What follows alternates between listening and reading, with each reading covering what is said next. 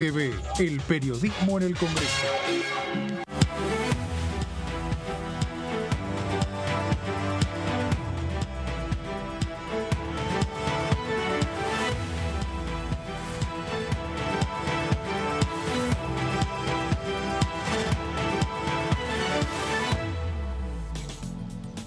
¿Cómo le va? Esto es el análisis por aquí por DTV, el análisis por Diputados Televisión, cerrando eh, una semana con muchas novedades, pensando ya en lo que va a ser la semana que viene, lo que va a ser la última sesión especial que va a tener la Cámara de Diputados antes del acto electoral del próximo 22 de octubre. Varios temas, son 10 puntos, 10 proyectos que van a discutir los diputados y las diputadas nacionales, temas que han logrado eh, tener dictamen finalmente esta semana, temas, por lo menos uno de ellos, que espera tener dictamen el próximo día lunes. Hablamos del proyecto de ley de gas natural licuado. Esto quiere decir que ya está confirmada una reunión, un plenario de las comisiones de energía y de la Comisión de Presupuesto y Hacienda para el lunes a las 3 y media de la tarde. Dictamen de GNL y proyecto que se va a discutir en el recinto el día martes. Una intensa eh, semana se viene aquí en el Parlamento Nacional. De todo esto vamos a estar hablando en las próximas dos horas. Esto es el análisis por aquí por DTV. Voy a saludar a mis compañeros que me acompañan en la jornada de hoy. Señor Fabián Guay. De alquileres. Se podrá aprobar el que llegó y que aspiran las asociaciones de inquilinos desde la Cámara de Senadores con la posibilidad de una renovación cada tres años volverá a insistir la oposición con la cuestión bianual.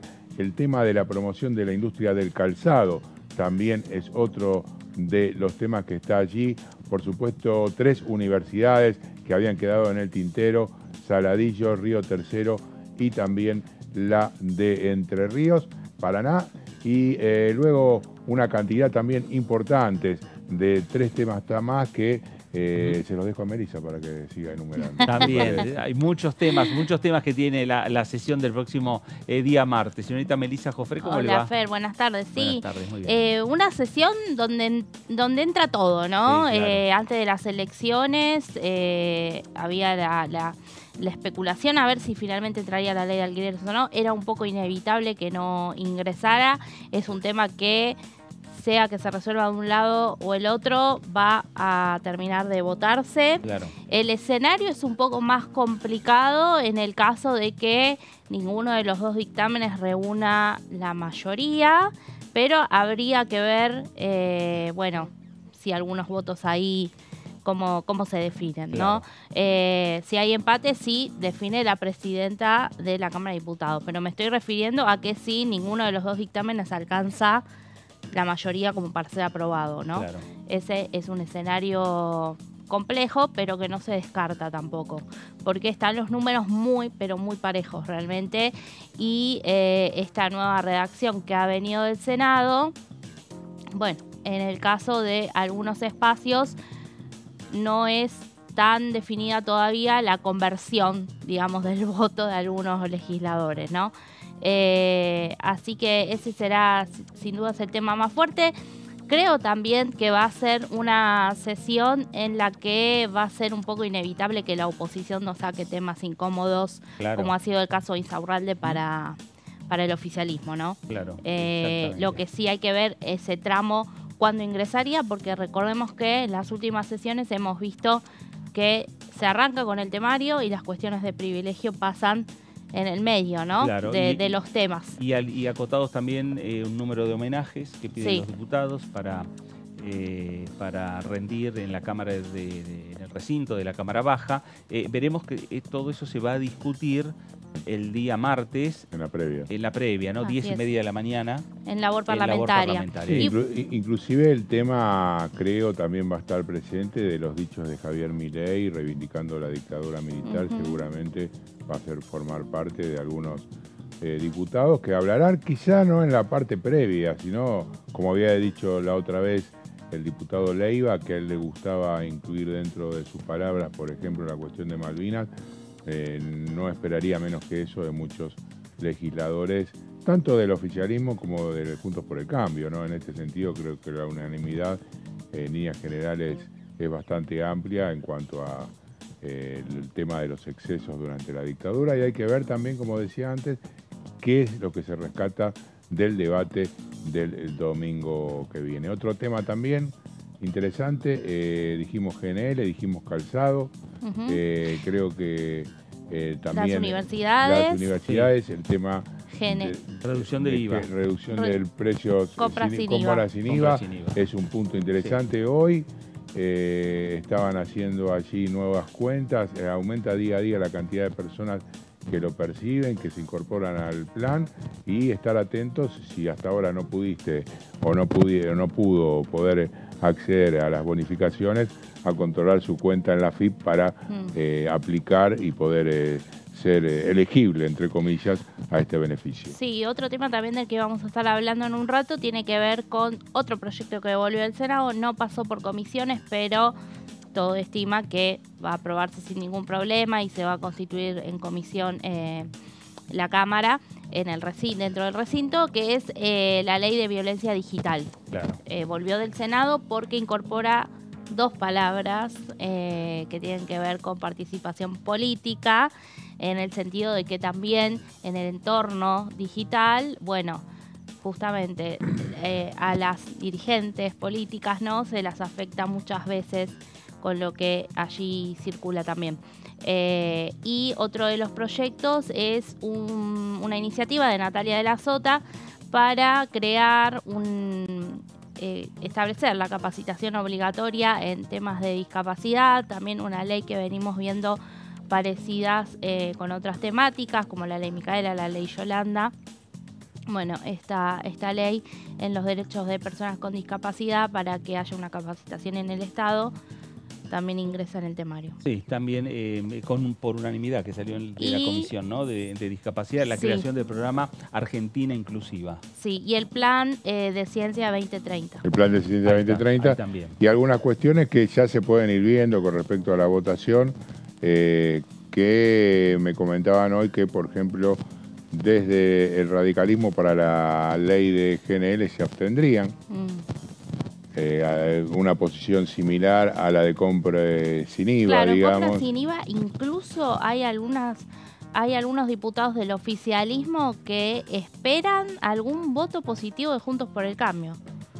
Hay que ver, en definitiva, cómo en llegan sin IVA. en compra sin IVA. Bueno, Recordemos que Juntos por el Cambio tiene un dictamen de minor, firmó un dictamen de minoría pero no descartan que alguno acompañe. Habrá que ver, eh, está el tema de universidades también, que hay una universidad impulsada también por Evolución Radical, como sucedió en la sesión pasada.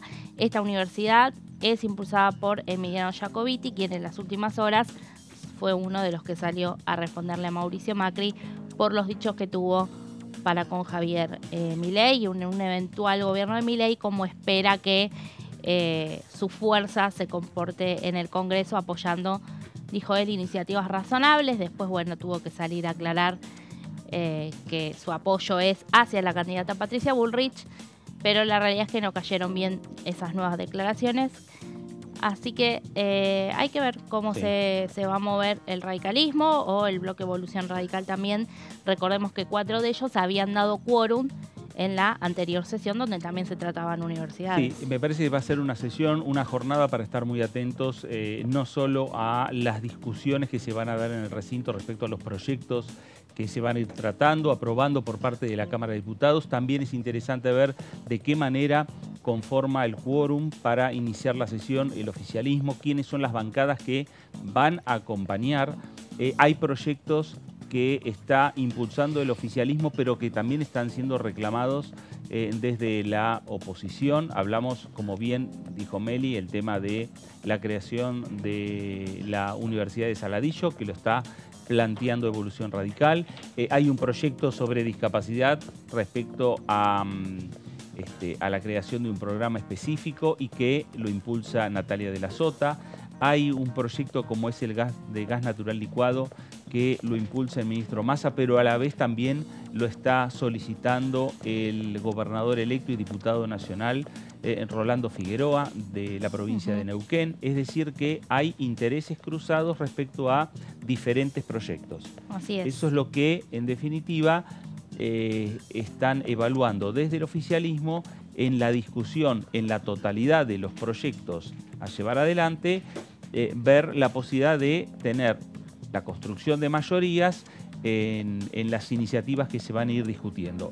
En esas, entre esas iniciativas, el proyecto de ley de alquileres que viene con la sanción del Senado Nacional. Y no solo mirando esa construcción de mayorías con otros bloques políticos, sino mirando muy especialmente la construcción de mayoría desde el punto de vista eh, puertas eh, hacia adentro del frente de todos respecto a que estén sentados los 118 o por lo menos la mayoría de los 118 diputados en sus bancas para discutir los diferentes proyectos el próximo día martes a las 10 de la mañana, sesión eh, a las 12 del mediodía, martes 10 a las 12 del mediodía, sesión especial en la Cámara de Diputados de la Nación. Última sesión, último, digamos, última apertura del recinto de la Cámara, eh, transformado en este momento de campaña como, como un, lugar importante e interesante de expresiones políticas, eh, pensando en las elecciones del próximo 22 de octubre. Sí, además tengamos en cuenta también el trámite que tuvo, por ejemplo, la ley de alquileres, que después vamos a estar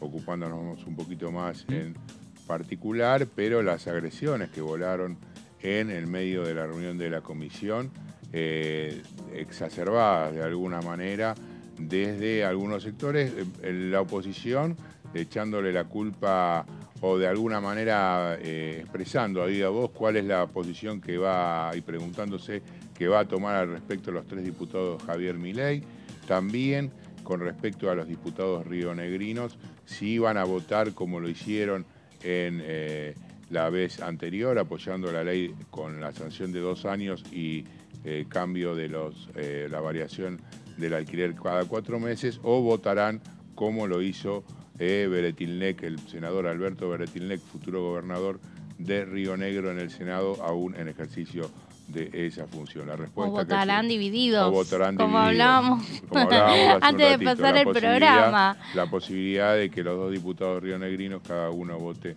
en un sentido diferente.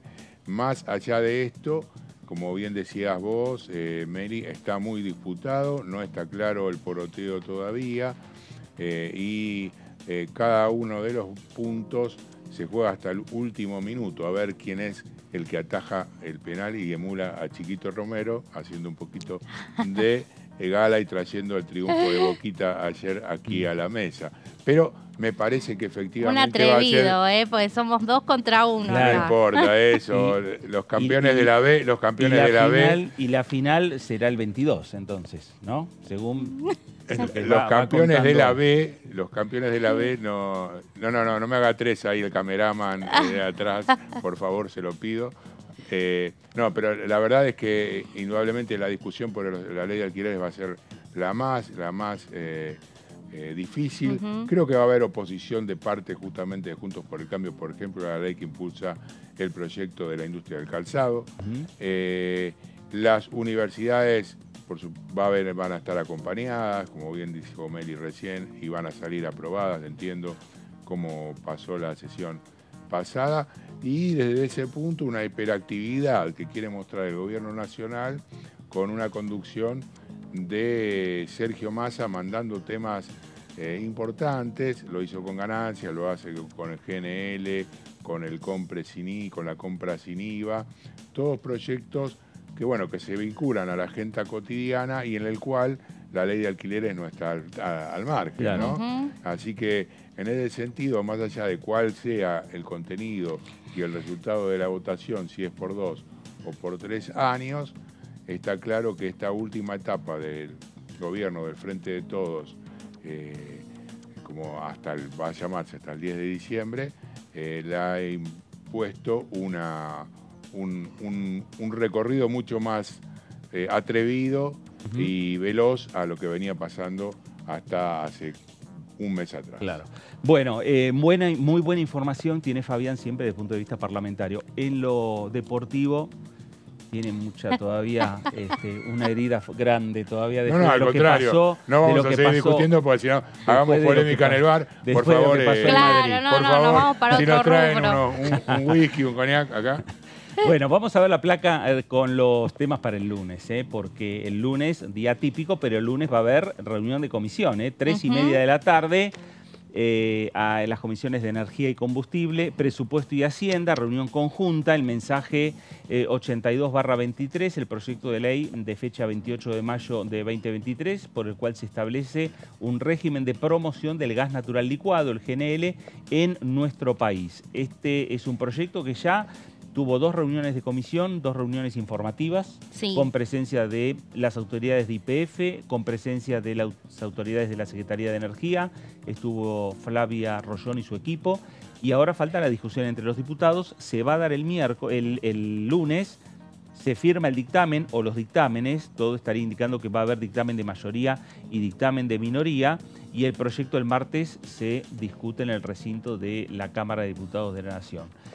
Eh, respecto a esta iniciativa, el, último viaje que tuvo el ministro de Economía a Neuquén, allí estuvo acompañado por eh, el gobernador actual y el futuro gobernador de, Neuquén, Gutiérrez y, Figueroa. Eh, y Sergio Massa dijo que aseguraba que tiene los, los números como para aprobar este proyecto.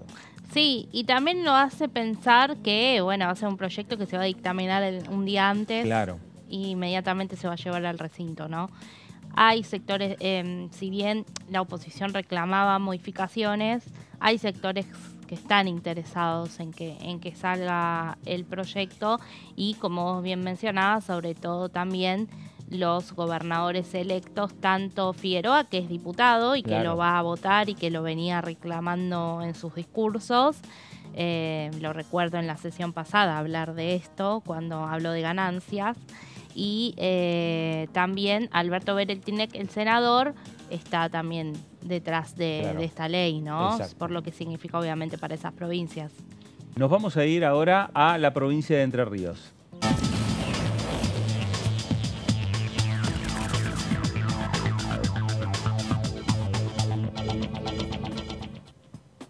Diputado Marcelo Casareto, ¿cómo le va? Buenas tardes. Fernando Fraquelli saluda. ¿Qué tal? ¿Cómo les va? Un saludo acá desde Paraná. Diputado, estábamos eh, hablando un poco de la agenda que tiene la Cámara la semana que viene, eh, una intensa este, actividad, eh, arrancando el lunes con GNL, pero también intensa actividad va a ser el martes con la sesión, muchos temas, incluso la, creación de la, de la universidad ahí en Paraná, puntualmente. Sí, exactamente, estamos citados el día lunes para tratar en comisión el proyecto de GNL. Ya tuvimos eh, algunas reuniones informativas. En su momento recibimos a los funcionarios de la Secretaría de Energía, a Flavia Rollón y su equipo. También recibimos las autoridades de IPF.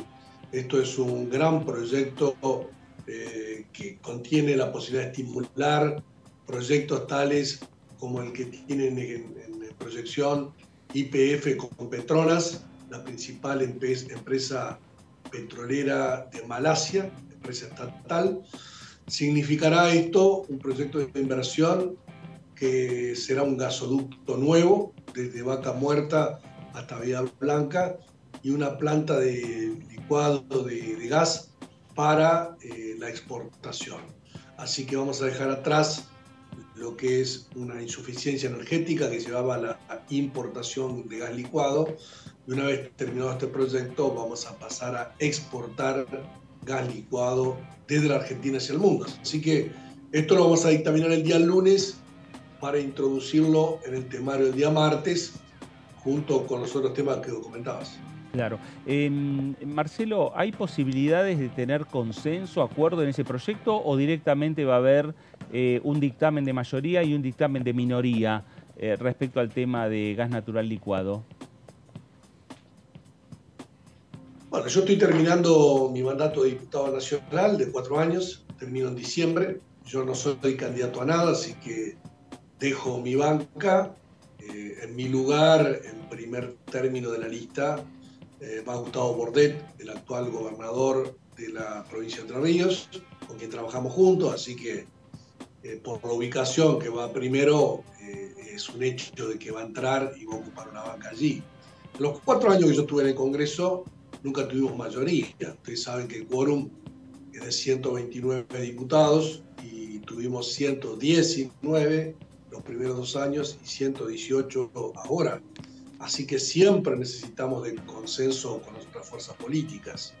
Y el consenso es tener 129.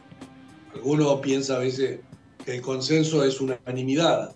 Y unanimidad no hay nunca. Algunas leyes más eh, claramente necesarias para la Argentina siempre se aprueban con algún voto en contra, alguna abstención. Así que nosotros estamos dispuestos a discutir, en las reuniones informativas se discutió el tema, pero siempre la oposición te va a decir sí, pero no, sí, pero no ahora, sí, pero no de esta manera, sí esto, pero habría que ponerlo, sacarle tal cosa y por eso vamos a votar en contra. O sea, hay una cuestión política de votar todo en contra de Juntos por el Cambio. ¿Qué tal, diputado? Lo saluda Melissa Jofré. Eh, quería preguntarle por un tema que se ve bastante parejo. ¿Qué escenario eh, prevén ustedes respecto de la ley de alquileres? Bueno, lo que ya venís viendo durante un largo tiempo que discutimos en comisiones, lo que viste en el recinto de diputados, lo que viste en el recinto de senadores. Hay posiciones encontradas y a esta altura del partido, por una cuestión institucional eh, y de lo que establece la Constitución, llegamos con una sanción de diputados que impulsó Juntos por el Cambio y una sanción de senadores que impulsó Unión por la Patria. Eh, o tomás una o tomás otra. No hay intermedios en esta instancia. Y nosotros vamos a impulsar la sanción que viene del Senado. Eh, eso es lo que dictaminamos esta semana, firmamos dictamen de mayoría, respaldando la sanción del Senado y seguramente va a haber una larga discusión. ¿Qué tal? Marcelo Fabián Walman te saluda.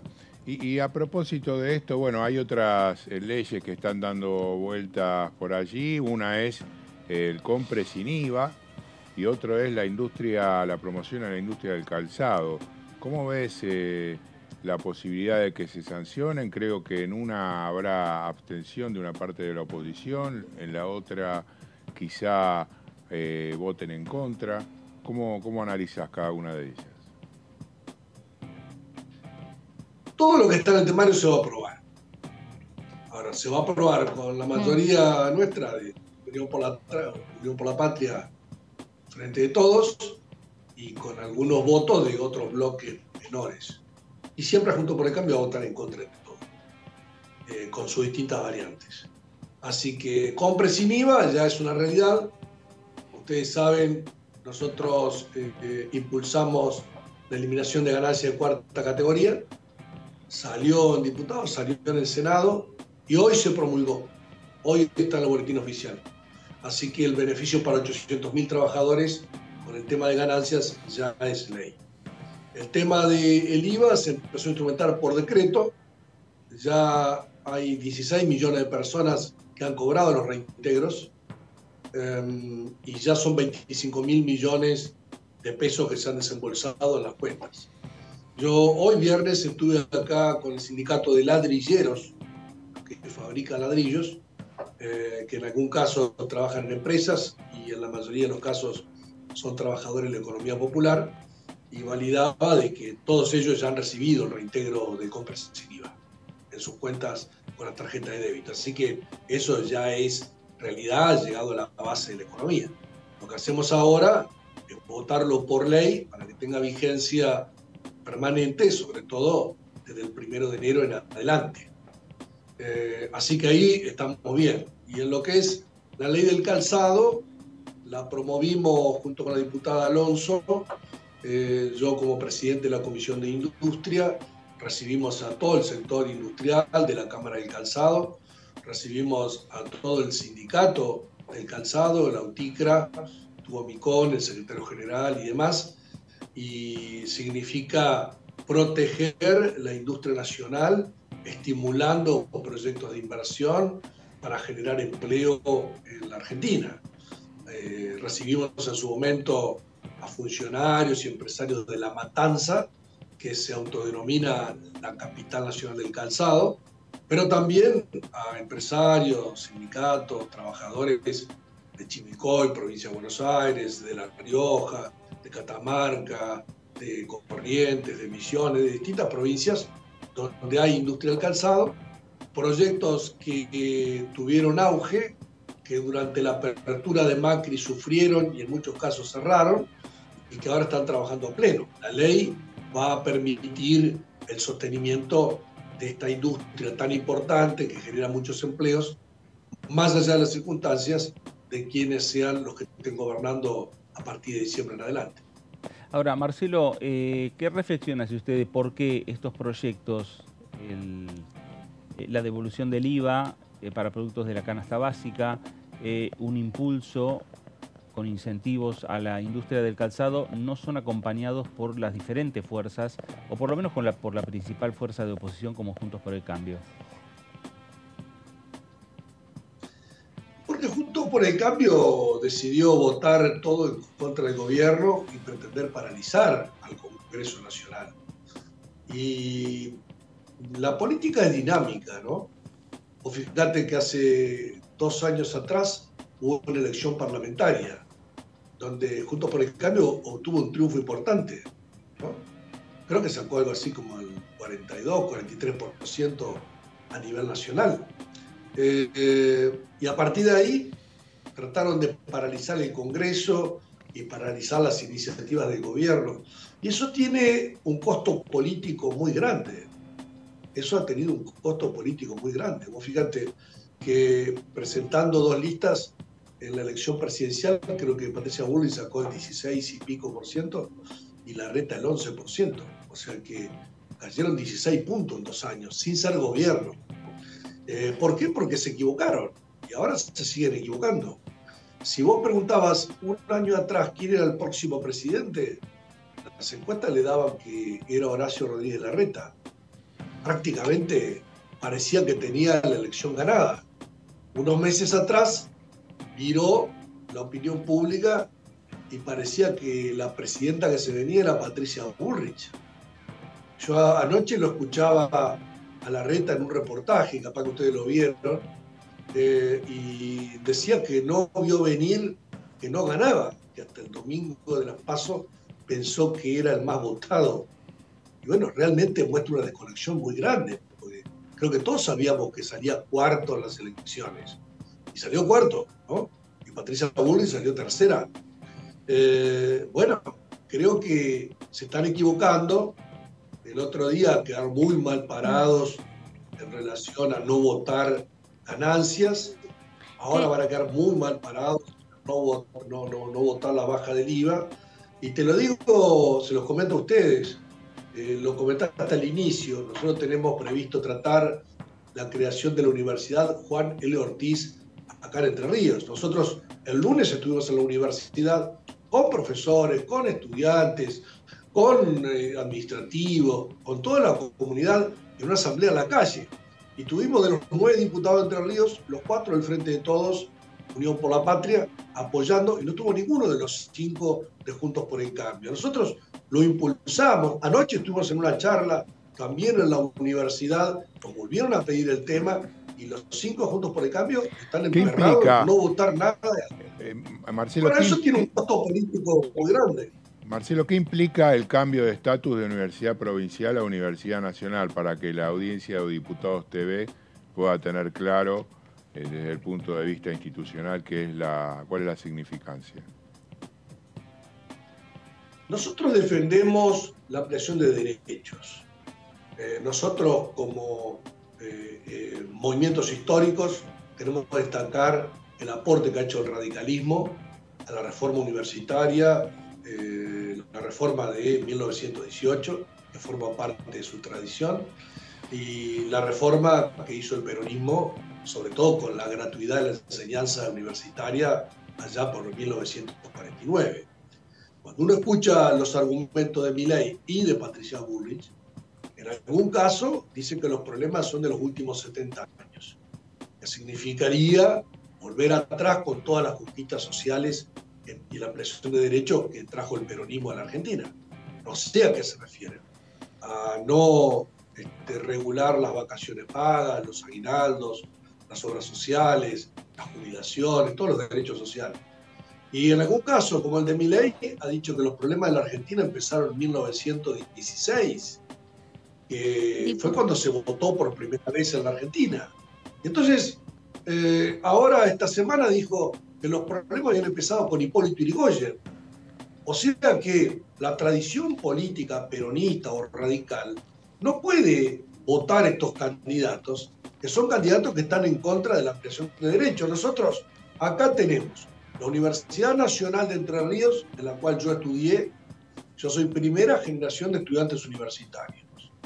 Después, la Universidad Autónoma de Entre Ríos es provincial y se creó en el año 2000 y es primera generación de estudiantes universitarios en más de un 80% de sus estudiantes. Lo que se plantea ahora es crear una nueva universidad nacional, Universidad Nacional Juan L. Ortiz, sobre la base de una de las facultades de la Universidad Autónoma, que tiene cuatro facultades. Pasaría y claramente esto significa la posibilidad de un fortalecimiento presupuestario, fortalecimiento de las carreras, un mejor reconocimiento de los títulos. Y bueno, por eso toda la comunidad lo pide y nosotros vamos en ese sentido. Diputado, se observa que dentro de lo que es la posición de Juntos por el Cambio, a medida que avanza la campaña, que avanzan las diferencias y estas observaciones que usted también ve, eh, hay cierto sector del radicalismo que quizás se encuentra un poco más incómodo en no acompañar ciertos proyectos, o se ha visto incluso que sí pueden acompañarlos, como en el caso de universidades, o eh, el plan de Ciencia 2030, que también se va a votar, cuando se trató en comisión, contó con el respaldo allí de, algunos diputados eh, radicales. Por lo bajo, con, sus colegas, ¿usted eh, conversa con ellos sobre esto? ¿Sabe si algún sector de Juntos por el Cambio sí quisiera acompañar ciertas medidas, pero bueno, en el medio de este contexto. Bueno, está muy claro de que Juntos por el Cambio surgió de una manera y ha evolucionado hacia otra cosa. El radicalismo ha ido de furgón de cola y el PRO ha dominado la política de Juntos por el Cambio.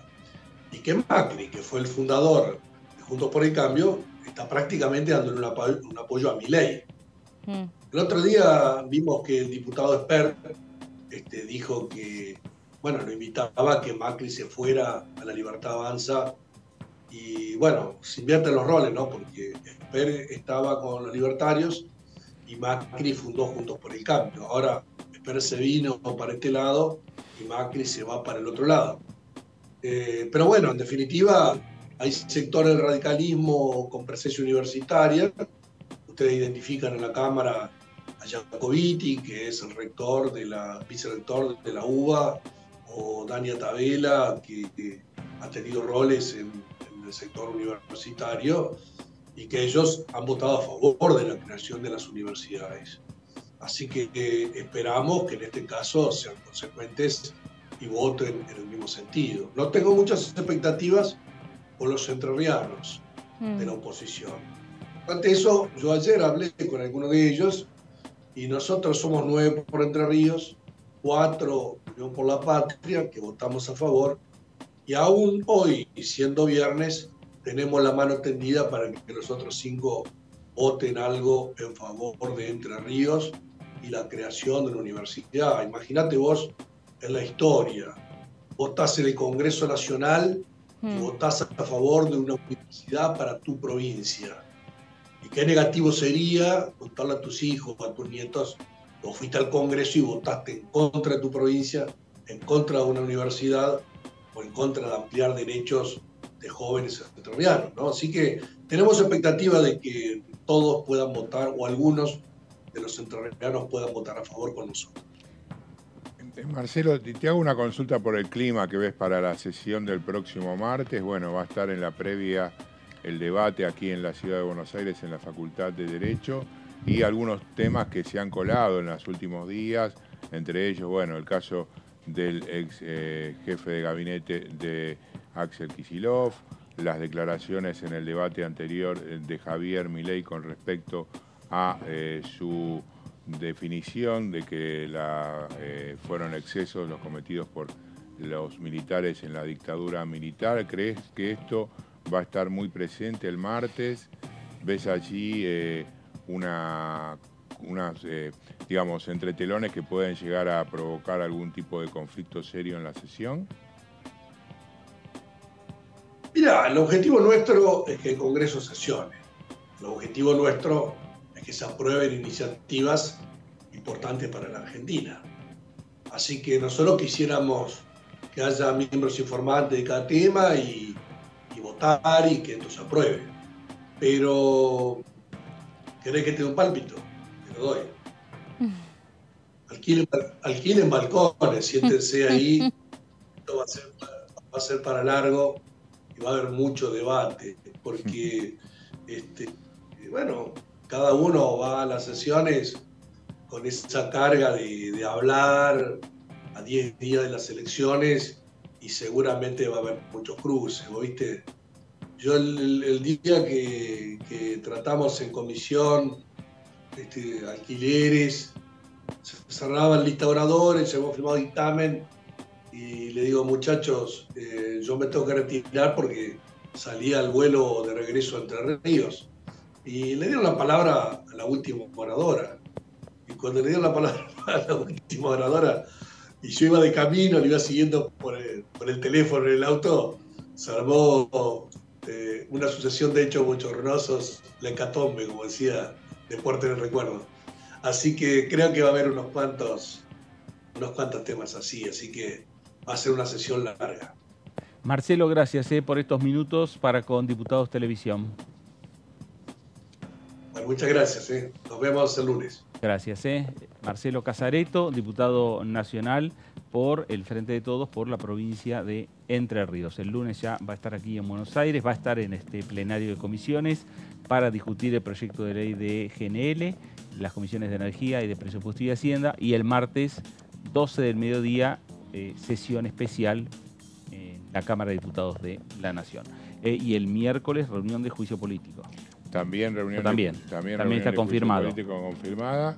Eh, bueno, venimos de un tratamiento ya de, y la posibilidad de que haya ya algún dictamen este, este próximo miércoles con definiciones acerca de las acusaciones hacia algunos de los magistrados, en particular por el caso del 2 por 1 hacia eh, el propio Rosati por la cuestión ligada a la obra social con el juez Maqueda. Eh, habrá que estar atentos entonces a esa situación y, ver cómo avanza. Sí, va a haber también invitación eh, para que los magistrados vengan al Congreso Nacional. Claro, técnicamente lo que se va a poner a votación no van a ser todavía en sí los dictámenes de acusación, sino unas eh, resoluciones que tienen los cargos provisorios y que además a su vez citan a los, eh, a los jueces. para claro. que hagan su descargo, claro, para que puedan hacer su descargo. Es lo que había pasado en junio con Maqueda, eh, porque el artículo 13 del reglamento de la comisión establece que se los puede citar o ellos pueden enviar un informe por escrito o nada, exactamente, y sigue el proceso. Así fue lo que pasó con Maqueda, no hubo respuesta de... y que había, eh, en su momento había generado muchas expectativas si Maqueda finalmente iba, iba a contestarle al Congreso Nacional. Eh, todo el mundo daba por sentado que Maqueda no iba a venir al Parlamento. Mm. Pero sí en su rol de eh, haber sido diputado nacional, senador nacional, por haber integrado esta casa política, eh, iba a mandar por lo menos unas, unas líneas a la comisión eh, argumentando por qué no iba a estar presente o este, rechazando de, plano las acusaciones que estaba formulando la comisión o que estaba formulando eh, principalmente el oficialismo. Lo que sucedió fue que directamente Juan Carlos Maqueda ignoró al Parlamento Nacional, ¿no? Ignoró a la Comisión de Justicia Eso ya medias tintas, porque uno puede, podría decir, ignorar por completo hubiera sido no mandar ningún tipo de información. Claro. Está bien, si vos lo analizás desde el punto de vista de lo que efectivamente obtuvo la Comisión de Juicio Político de datos concretos provenientes de la Corte Suprema de Justicia, la habilitación de los funcionarios para que se presten a declarar, más allá de algunos, como por el caso de Silvio Robles u otros que apelaban a distintos artículos de la Constitución o del reglamento interno de la Corte para no prestar declaración, digamos, de cierta forma estuvo abolado el juicio político y además los propios miembros de la Corte em, remitieron información.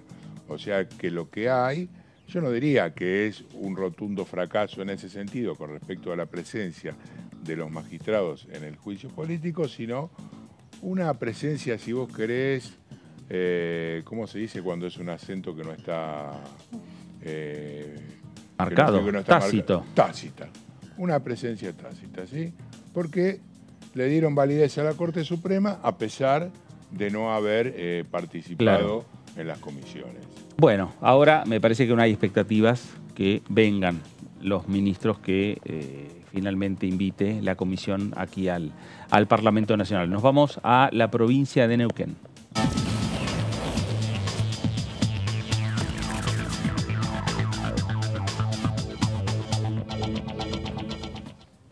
Diputado Pablo Servi, ¿cómo le va? Buenas tardes. Fernando Fraquelli saluda. Buenas tardes, Fernando, y a toda la audiencia. Pablo, el lunes eh, se discute gas natural licuado en, las comisiones, en el plenario de comisiones. Eh, se esperan los dictámenes eh, y se espera discutir este tema en el recinto. A ver, eh, en, el caso suyo, en el caso de los diputados de la provincia, de la provincia de Neuquén, de la provincia de Río Negro, ¿hay una discusión partidaria o hay una discusión, digamos, provincial respecto a este, los intereses de avanzar con, este proyecto, de avanzar o no avanzar con este proyecto? Creo que, las dos cosas se juntan, ¿no? Por ahí los, intereses o algo que venimos trabajando y conversando hace tiempo, como es la necesidad de dar condiciones para que se desarrolle el gas natural licuado, la industria, ¿no? de que se puedan desarrollar las, instalaciones y poder exportar eh, saliendo de, lo que, de las fronteras, de lo que puede implicar trasladarla por ductos, que es la posibilidad que existe hoy. Eh, pero por otro lado, también la forma que lo mandan en perspectiva y sin haber generado reuniones previas directamente, la primera reunión de diputados en sí que habría para tratar el tema y con la idea de dictaminar, porque ya tenemos la fecha para sesionar el, martes, así que eso también genera dentro del bloque y dentro del espacio político eh, una serie de discusiones y sobre todo los mayores cuestionamientos a las formas, ¿no? Pues está hablando de un proyecto que implica decisiones de acá a 30, a 30 años, beneficios fiscales, previsibilidad, y que entendemos que sería importante dar una discusión entre, o una discusión más amplia, ¿no? con plazos acotados como es en este caso. Eh, Pablo, ¿usted tiene definido ya qué, postura va a adoptar cuando se discute este tema en la comisión o cuando se discute este tema en el recinto? Eh, creo que hay que esperar el lunes a ver qué pasa en la reunión. Están planteados o, citados sobre dos proyectos que hay sobre el tema, uno que es de, nuestro bloque y otro que es el, el que mandó el Poder Ejecutivo Nacional. Eh, creo que hay que ver en esas instancias qué voluntad o qué de abrir el proyecto, abrir la discusión hay por parte del oficialismo sobre todo y a partir de ahí eh, tomaremos la decisión. Entiendo que es algo importante para el desarrollo no solamente de, vaca muerta, porque esto implica gran cantidad o, la mayor parte de las inversiones dentro de la provincia de Buenos Aires, lo que es la planta de liquefacción, son tres gasoductos que la mayoría del trayecto van por Río Negro, La Pampa y Buenos Aires. Y por otro lado, también es un agregado valor que se va a dar dentro de la provincia de Buenos Aires, un gas que si uno toma valores de hoy sale a 3,50 dólares el millón de BTU de la cuenca neuquina y estaría eh, saliendo del puerto a, razón de 8 dólares, así que esos 4 dólares y medio de agregado valor serían dentro de la provincia de Buenos Aires y generando una gran cantidad de inversiones para el país. Eh, pero como digo, es algo que hay que dar una discusión y ver hasta qué punto está el oficialismo dispuesto a, abrir o a, que podamos llegar a un proyecto de acuerdo. ¿Qué tal, diputado? Lo saluda Melissa Jofré. Lo quería consultar porque, bueno, son varios los temas que se van a, tratar en la sesión y eh, entre ellos hay un proyecto de la Comisión de Industria que, que usted integra que tiene que ver justamente con un régimen de promoción para la industria del calzado. Desde la oposición se había cuestionado que se trate de un régimen más que eh, beneficia a un determinado sector y que no haya, en definitiva, una reforma integral para beneficiar con ciertos eh, incentivos fiscales a, bueno, otras áreas, otras otros sectores también de, la economía. ¿Usted en ese sentido cómo, cómo ve eh, el escenario? Y así, eh, realmente la industria del calzado, la industria nacional está pasando por una situación muy, muy difícil y compleja, pero también el proyecto este contempla que los únicos que puedan importar tanto partes para fabricar calzados como calzado terminado sean aquellos que fabrican dentro del país. Y quizás eso también es riesgoso a futuro. Yo creo que lo que tenemos que apuntar es a generar condiciones para que eh, macro, para que todas las actividades puedan salir adelante y ser competitivas eh, entendemos que este tipo de, acuerdos o cuestiones sectoriales pueden también eh, hacer que se reproduzca lo que pasa de alguna manera con el, neumático, ¿no? que hoy un neumático dentro de nuestro país cuesta cuatro o cinco veces lo que cuesta en un país vecino y que eso termine repercutiendo en un, en un mayor costo para el consumidor. Entiendo que, mm. como, como, decía antes, es una industria que está, pasando muy mal porque hemos hablado con, con industriales, han ido a exponer al, al Congreso eh, pero creo que también hay que contemplar eh, desde el punto de vista del consumidor que esto no termine repercutiendo en, un mayor costo o que, directamente no tengamos acceso a, ciertas nuevas tecnologías o, estemos limitados a lo que haya o al precio muy eh, excesivo con respecto a otros países del calzado. Diputado Sergio Buenas tardes, Fabián Waldman. con respecto a esto, le consulto porque en general hay una disposición, uno a veces observa, desde Juntos por el Cambio a no validar impulsos a determinados sectores de la economía y sí a otros. Eh, y, en esto, eh, justamente en este caso, en la industria del calzado, estamos hablando a un sector de la economía que durante el gobierno de Mauricio Macri perdió 10.000 puestos de trabajo, hasta ahora se han recuperado solamente 6.000 durante el gobierno del Frente de Todos, y uno entiende que la mayoría de la gente que trabaja en este rubro son pequeños comerciantes, pequeños trabajadores que tienen economía popular, muchos de ellos están ubicados en la provincia de Buenos Aires, en, La Matanza, y pareciera que haber una cierta discriminación hacia qué sectores sí y hacia qué sectores no. ¿Esto es una visión parcial o es eh, algo que ustedes entienden que debe tratarse de esa manera? No, no lo creo así de esa manera, porque de hecho, si hay algo que apoyamos el desarrollo de las pymes o que, creemos que los grandes, grandes dadores de, empleo son las pymes. Y creo que hoy también este, este planteo que se hace dentro del proyecto de la industria del calzado es lo que vemos en muchos casos, que, es la dificultad para importar eh, los bienes intermedios, aquellos que hacen a la construcción.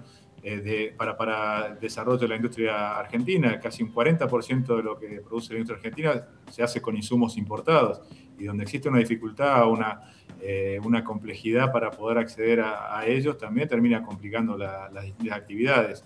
Eh, yo creo que hoy pasa más por una cuestión macro y problema de nuestro país de abastecimiento, de poder importar en tiempo y forma. Muchas veces quizás es más fácil importar el bien terminado que no el insumo para, para poder producir, o lo comentábamos en la actividad que, de la cual yo vengo, que es la fruticultura, eh, es más fácil quizás importar eh, manzanas de Chile que no traer los productos o los fertilizantes o los insumos que necesitamos o las cajas que o los insumos para las cajas que necesitamos para la producción eh, nacional. Entonces creo que, hay que buscarle una, la forma de, que, de darle competitividad y que puedan salir adelante las distintas actividades existe en el país y no veo una, de alguna manera un sesgo que se vaya en contra de esto, porque también lo que decías de muchos talleres o que son chicos o pequeños, en muchos casos están en la informalidad, entonces tampoco un tipo de, ley de, este, de, este, fomento de este tipo lo va a terminar beneficiando.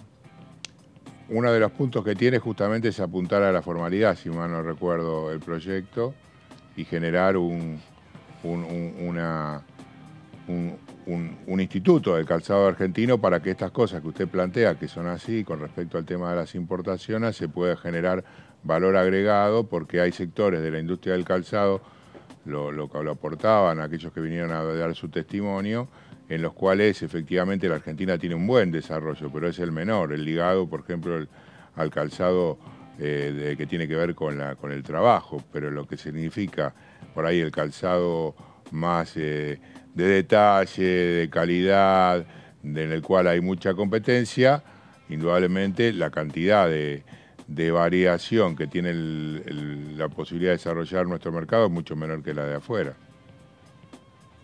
Y en el tema de formalización, creo que, justamente lo que hay que avanzar en bajar la litigiosidad laboral, en bajar las cargas y aportes patronales o de alguna manera los impuestos al trabajo y la complejidad que tiene eh, tomar un empleo. Uno cuando habla con un empresario eh, te dicen hoy no, no tomás un empleado, lo adoptás, porque después es muy, eh, es muy difícil si uno le va mal o se achica el negocio poder eh, adaptarse. Entonces ese tipo de cosas creo que son las que hay que trabajar para que darle flexibilidad y para que todas las actividades económicas salgan adelante, pero por supuesto que daremos la discusión sobre el tema del calzado, como, porque como bien decía antes y charlando con, con aquellos que están en la actividad, es una actividad que hoy está en una, en una crisis muy seria y hay que encontrar una, una, salida. Y ojalá la encontráramos para, para todo lo que hace la, a la actividad y a las pymes de nuestro país, donde hace 12 años que no se crea empleo privado. Estoy hablando de 12 años donde transcurrieron gobiernos de todos los colores y creo que tenemos que encontrar como país eh, la alternativa a cómo tomar las medidas que hagan a que realmente esto de que sea más fácil tomar empleados, de que se avance hacia la formalización, porque también tenemos un sistema donde gran parte de los empleados están en, en negro, hablando mal y pronto, y o también donde gran parte de la economía está también... Eh, eh, la ley de alquileres, la verdad que habíamos eh, logrado aprobar un, dictamen en, el Congreso, fue al Senado, el Senado fue modificado y en principio desde Juntos por el Cambio, de hecho ya hay dictámenes de minoría, es, seguir insistiendo con lo que salió aprobado en, en diputados, de alguna manera del bloque nuestro. entendemos que, lo que las modificaciones que hace el Senado es volver para atrás en muchos temas o casi, eh, en algunos casos, hasta peor que la ley original que ya sabemos que no está funcionando. Entonces, eh, la verdad que eh, es una ley que puede caer víctima de quién gana ¿no? dentro de una puja preelectoral y, entiendo que tiene una complejidad y genera problemas para una gran cantidad de argentinos que deberíamos dejar de lado la, la puja electoral o ver que no es una cuestión de quién gana la pulseada, sino de encontrarle una solución para que realmente eh, este tema tan eh, complicado que tenemos hoy en nuestro país se pueda, se pueda eh, buscar una solución. Diputado, durante el debate en comisión respecto de ley de alquileres, había un diputado del oficialismo que planteaba que hay, hay tres puntos ¿no? fundamentales que son los que están en, en, disputa y también que son los que modificó el Senado, pero uno de ellos que tiene que ver con la duración de los contratos eh, un diputado del oficialismo hablaba de que eh, tres años para el propietario, si tiene un buen inquilino, le sirve y ni hablar para el inquilino, ¿no? Que solamente hay una parte interesada con que los contratos sean de menor plazo y que son las inmobiliarias. Eh, en este sentido, preguntarle por qué la, la sanción que defiende Juntos por el Cambio es la que quiere volver a, a los dos años. Sí, ahí creo que en el Senado uno de los temas que, sí se hizo en diputados es, eh, eh, en el Senado, en el caso del Senado no se citó a las asociaciones de propietarios, que creo que en este caso que decís se citó a dos de las patas, que son las que habían participado en la discusión mm. original. En la discusión original no se había tenido en cuenta a los propietarios, ahora hay asociaciones que, lo han, que, se han conformado y participaron en, diputados. Creo que hubiera sido importante en el Senado haber escuchado a los propietarios, como, también como parte interesada, y creo que por ahí podrían haber eh, aclarado también esto, esto que decís. Quizás el plazo de de tres años reduce la, incidencia de la comisión, ¿no? porque es un mes independientemente, un mes de alquiler, independientemente de que sean dos o tres años la, comisión, pero también en la medida que ahora el índice que propone la ley eh, sea un, porcentaje menor que, el, índice de, aumento de precios, mm. eh, contempla la posibilidad de dos índices de ajuste, pero el 0,9% de eso eh, el problema es que en tres años ya se termina atrasando mucho con los niveles de inflación que, que tenemos en este país. Ojalá se lograra frenar la inflación, que ya eh, quedaría sin efecto la discusión de que estamos dando hoy de la ley de alquileres, pero realmente en entornos de alta inflación como tenemos ahora, el, tema que tiene el, ajuste es que se va quedando atrasado, entonces en tres años eh, realmente, pues también está la libertad de que se pueda hacer, lo que se está hablando de un plazo mínimo de, de, ley de alquileres. Si está el acuerdo entre las partes, tranquilamente se puede hacer de tres años y creo que ahí está donde también eh, está dejarlo librado a, que, a la negociación y que en una economía de libre mercado como es la que fija y que tenemos la Constitución argentina, que sean las partes quienes lleguen a, un entendimiento en este caso. Pero, pero es una, es una, es una, eh, una negociación en la cual los dos eh, eh, las dos partes son equilibradas, tienen el mismo peso, porque lo que se plantea desde los inquilinos es que aquí no hay un acuerdo entre partes, más en la situación en que se plantea en estos momentos en la Argentina. O sea, o me alquilás en estas condiciones o te tenés que ir. Entonces, una familia que tiene que renovar su alquiler cada dos años, con, con un par de chicos que tienen que ir al colegio en una zona determinada, por ejemplo, de la ciudad de Buenos Aires, y tiene que volver a modificarlo a los, al año y medio, porque al año y medio tiene que estar pensando qué va a pasar en, los, en próximos seis meses. Pone en una guillotina la posibilidad, si el, si el inquilino no, no acepta la condición sine qua non que le pone el propietario. Sí, pero también la realidad es que cuando salió la ley, eh, de alguna manera quedó en, eh, quedó complicado el propietario y, hoy estamos sufriendo una falta de oferta, porque eso se soluciona con oferta, que, el inquilino tenga opción de elegir entre, varias, entre varios... Eh, Pero no existe eso hoy. propiedades y va, y va a elegir el plazo de la, del contrato. Hoy hay un serio problema de, falta de oferta. Tengo mi hijo el año que viene se va a estudiar a, Buenos Aires y, y, los compañeros están buscando alquiler y no consiguen realmente. Y los pocos que consiguen eh, está a un precio muy alto porque hay poca oferta. Si se generan condiciones para que haya oferta, eh, comienza eh, a haber condiciones de alguna manera para que, haya oferta, que creo que estos son los, de alguna manera las cuestiones fiscales que contempla la modificación de la ley que se está planteando y de alguna manera también, porque repercutió la ley de alquileres, realmente fue muy mala la, ley que es la, ley actual y, y realmente lo que hizo es no solamente disminuir la oferta, sino también disminuir el, valor de las propiedades en muchos casos. Neuquén es un lugar donde eh, los neuquinos eh, ahorraban mucho en, ladrillo, era la forma de ahorrar y alquilarlo. Y hoy, con esta, eh, como están dadas las condiciones, realmente ha bajado mucho el, valor de las propiedades y no se vende y los alquileres están por las nubes y mirar lo que pasa en, Capital Federal.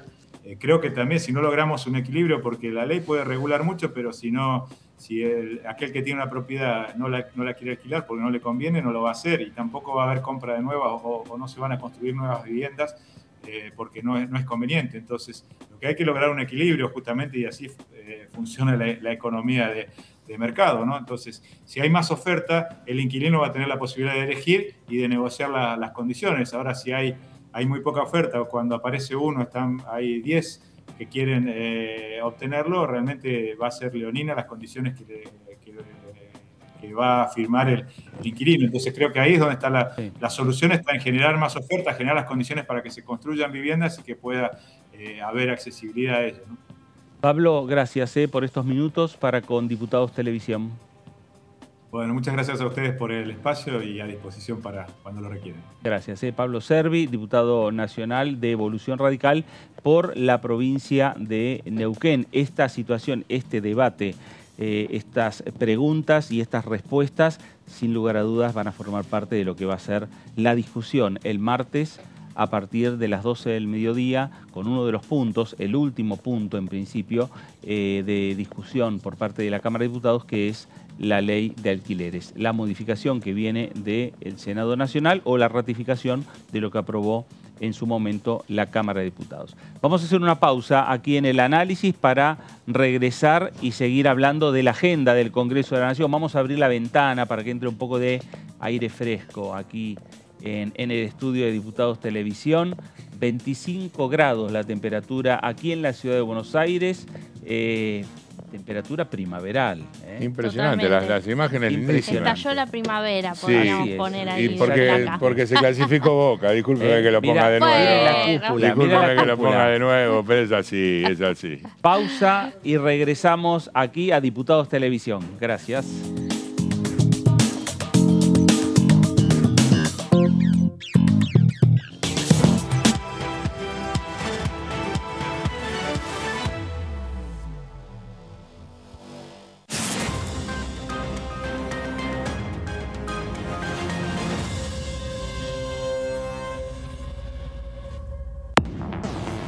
Bienvenidos a una nueva jornada del resumen de noticias parlamentarias.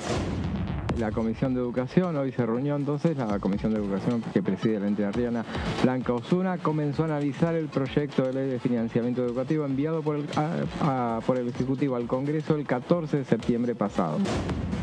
Y quien también estuvo hablando en conferencia de prensa respecto a lo que fue el tratamiento de la comisión es la presidenta de la comisión, la diputada Osuna, que decía lo siguiente. DTV, el resumen, de lunes a viernes. Este es el gasoducto presidente Néstor Kirchner. Una obra de escala mundial realizada en tiempo récord, que unirá la energía de vaca muerta con todo el país. Innovaciones, tecnología, cientos de kilómetros de acero y miles de trabajadoras y trabajadores. Esta mega estructura alimentará la llama del país, uniéndonos con nuestros seres queridos, acelerando la economía, ahorrando divisas, con desarrollo, con federalismo, con soberanía y orgullo. Gasoducto Presidente Néstor Kirchner. Mueve energía, mueve al país.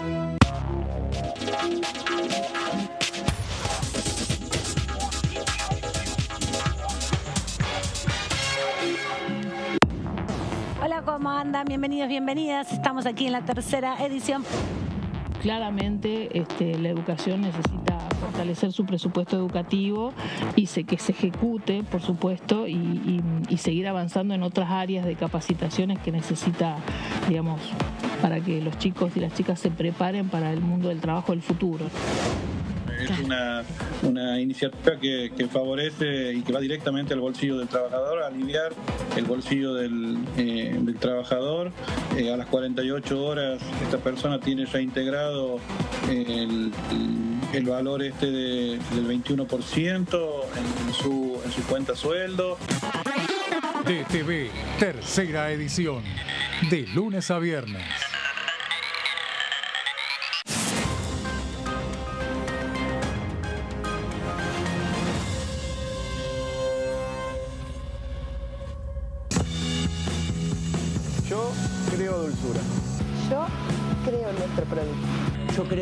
Talento argentino. Yo creo en mi país. CREAR es un programa del Ministerio de Economía para aumentar el crédito productivo de las empresas nacionales, con el objetivo de generar más valor agregado a nuestros productos y nuevos puestos de trabajo. Yo elijo crear.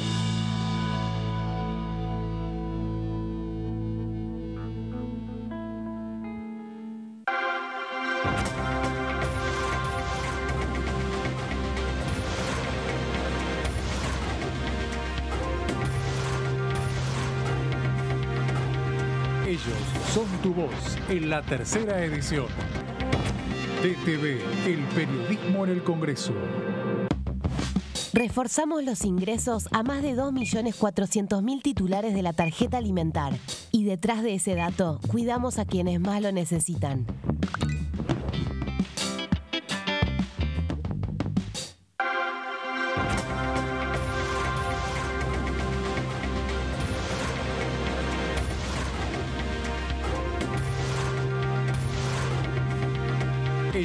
Son tu voz en la tercera edición.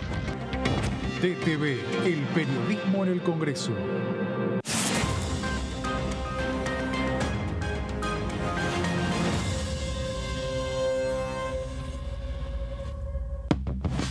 Otorgamos un refuerzo económico a más de 7.800.000 jubilados y pensionados durante tres meses. Y detrás de ese dato, protegemos a quienes más lo necesitan.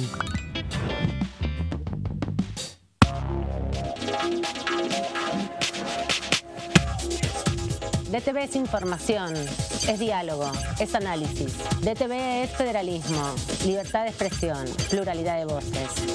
DTV es todo lo que un país en democracia tiene que ser. DTV es tu voz en el Congreso. Este 2023, seguí eligiéndonos. DTV, el periodismo en el Congreso. Hola, hola, ¿cómo va? Bienvenidos, bienvenidos a entrevistas el país que tratamos de construir, por lo menos desde nuestro espacio político de, Unión por la Patria, eh, donde nos miremos unos a otros y seamos solidarios y, y sepamos este, que bueno que hay quienes necesitan muchísimo y otros que podemos esperar un poco. Eh, y que hay que atender esos problemas urgentes. Eh, me parece que eso es, es un país, este, por lo menos en el a mí me gustaría vivir y que quiero seguir aportando y construyendo estamos acostumbrados a otra cosa. Creo que la Argentina tiene una tradición de defender la educación pública, defender la salud pública, este, y, y, que para eso, o sea, quisiera que muchos hablen con gente que vive en otros lugares donde eso no existe. DTV Entrevistas, viernes 23 horas.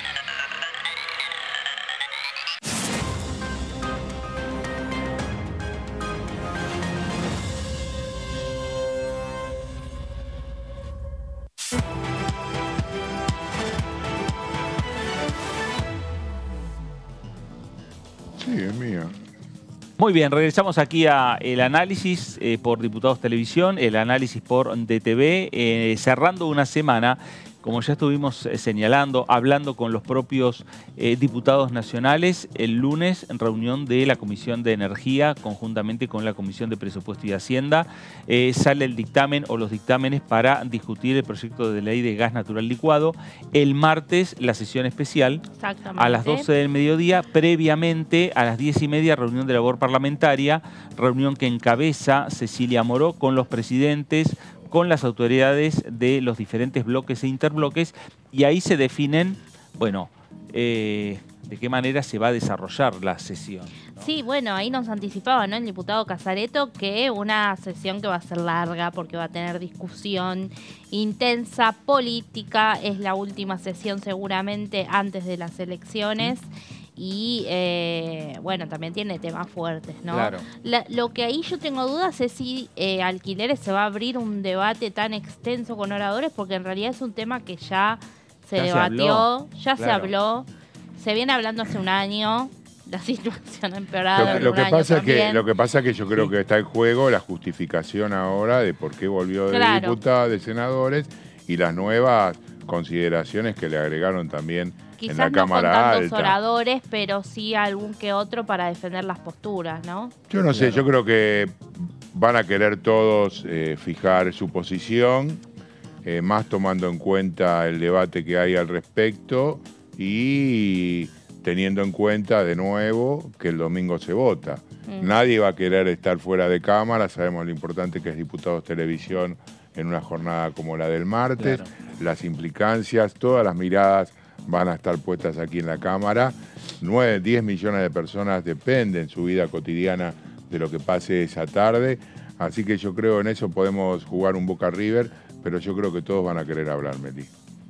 Bueno, em, a ver, uno de los temas que va a estar en la discusión del día martes va a ser la, em, el fomento a la industria del calzado. Mm. Eh, lo hablábamos con el diputado Casareto, eh, que es el presidente de la Comisión de Industria, es donde salió el dictamen de comisión, y habló el diputado Fabio Quetlas de la Unión Cívica Radical de Juntos por el Cambio y decía lo siguiente. Este proyecto, de alguna manera, y sobre todo el tratamiento que le estamos dando, en mi modo de ver, resume el conjunto de prácticas institucionales por el cual aumenta la desconfianza en las instituciones. ¿no? tuvo tratamiento en asesores, tuvo solo una reunión informativa y a dictaminar. En el barrio eso le decimos palo y a la bolsa. Y a mí particularmente me duele porque impide el ejercicio de creatividad política ahí donde es posible, porque efectivamente se trata de una actividad que tiene ribetes extremadamente significativos en términos sociales y productivos y, que creo yo que un tratamiento diferente podría haber enriquecido la conversación entre nosotros y evitar esta particular circunstancia en la que pareciera ser que nosotros nos ponemos en el lugar de ser un delivery de proyecto. ¿no? Por supuesto que el proyecto tiene que tener alto consenso en el sector porque aplica un conjunto de beneficios muy significativos, que habría que tratarlo uno por uno, por supuesto, pero es difícil entender por qué, en función de qué criterio se fundamenta el carácter estratégico no de esta actividad, sino de cualquier actividad. A partir, o sea, la palabra estratégico es una esdrújula muy interesante, pero ¿por qué? ¿En virtud de qué damos esa calificación? Pareciera ser que la industria del calzado es significativa en términos sociales, pero no tengo tan claro, yo personalmente, pondría en duda la condición estratégica. No, sé si el desarrollo nacional es tan dependiente de la industria del calzado. Ahora bien, una gran pregunta sería, estos beneficios así construidos, ¿no ameritarían ser dados a la industria del amoblamiento de cocina, de la bicicleta, de los azulejos o lo que fuera? Y quizás esto no interpela a nosotros qué tipo de reglas generales para el desarrollo industrial tenemos que darnos, porque hay un montón de actividades desplegadas en el territorio, con conocimiento argentino, con empleo argentino, con necesidades específicas en materia de tratamiento fiscal y regulatorio, que no son tratadas porque efectivamente pareciera ser que no tienen un diputado a mano al que pedirle. Y por eso digo que este tipo de, tratamiento erosiona la confianza en las instituciones. Bueno, ahí estaba parte del debate en la comisión. ¿eh? Lo escuchábamos a Fabio Quetlas, diputado de Juntos por el Cambio, diputado de la Unión Cívica Radical. Fabi, ¿qué se va a discutir el martes? Bueno, el martes, eh, como veníamos hablando, tanto con el diputado Casareto de Unión por la Patria como con el diputado Servi de, eh, de Evolución Radical dentro de Juntos por el Cambio, un proyecto que involucra mucha mano de obra de trabajadores informales. El programa de promoción del empleo del calzado y regularización del empleo industrial no registrado del calzado. Es una propuesta de la diputada Constanza Alonso del Frente de Todos de la provincia de Buenos Aires. Dentro del plan Argentina Productiva, no sé si recuerdan que había sido impulsado por el ex eh, ministro de Industria, eh, eh, ya me voy a acordar el nombre, Argentina Productiva 2030 detalla la capacidad de la industria local para abastecer sectores intermedios con calzado de seguridad y textil. Esto es lo que me refería, esto es lo que me refería yo a los lugares del sector del calzado que la industria nacional provee de forma, digamos, habitual, constante, con buenos precios y buenos productos. Hay otros espacios a los cuales no, no llegan. Digamos con la próxima placa. Entonces, ¿por qué? Porque hay dificultades para competir en aquellos calzados que tienen más detalles, que son líneas o primeras marcas, a pesar de que, por ejemplo, en La Rioja está la única fábrica de la, digamos, la marca de la empresa Puma que está fuera de Alemania y nuclea a 1.200 trabajadores. Allí es eh, muy recordada la anécdota que le planteaba al titular de la empresa, el ex eh, eh, ministro de Comercio de Mauricio Macri, diciéndole, bueno, cerrar la fábrica e importar. Eso se lo dijo tanto al presidente Alberto Fernández como al propio gobernador Ricardo Quintela. Entonces decía dificultades para competir en los precios más bajos por las escalas de producción, de las grandes empresas, así como en los de alta gama por la necesidad de tecnología y diseño. En 2022, la producción fue un 34% mayor con respecto a la de 2019, con sustitución de importaciones y el 54%, este es el dato importante, se produce en la provincia de Buenos Aires. La Matanza es la capital del calzado. Tengamos en cuenta, hablamos que la producción fue un 34% mayor que en 2019 con la pandemia de por medio. Esto es eh, muy significativo y relevante con lo que respecta al impulso que se le dio a estos sectores, apuntalando del Estado con ATP, con eh, IFE para algunos sectores que realmente producen. Aquí en la capital federal hay un sector de la ciudad que está en el sur, en la calle Boedo y San Juan, entre San Juan y Pavón, donde se encuentra prácticamente la mayoría de los mayoristas que surten a estas empresas. Si uno camina a esa zona, siempre te vas a encontrar con alguien que está comprando una suela, un calzado. Vamos con eh, la próxima placa. Durante el gobierno de Mauricio Macri, esto era lo que decíamos, se y, eh, magnificaba la diputada Alonso 10.000 puestos de trabajo del sector, similares consecuencias a las evidenciadas entre 1976 y 1983, estamos hablando del periodo negro de la dictadura militar, y entre 1991 y 2001. Hablamos de la década entre el gobierno de Carlos Menem y Fernando de la Rúa, en la cual se abrió la importación y no hubo ningún tipo de regulación ni de sostén de la producción nacional. Frente a esto, Alonso plantea políticas, eh, las políticas empleadas de 2020 que permitió recuperar 6.000 puestos de trabajo. Vamos con la que sigue. Eh, eh, lo que plantea entonces es promoción de las inversiones en el sector del calzado, el fortalecimiento de su cadena de valor, generación de puestos de trabajo de calidad, el fomento de una mayor inserción internacional que fortalezca el perfil exportador y el desarrollo de nuevos modelos y componentes con escala de competitividad. Dentro de esto hay que ubicar también en paralelo la promoción que pasó al Senado, por supuesto. Ah, no, ya se sancionó, de empleo PYME, ¿no? No, no, todavía, ah, todavía no. falta, bueno.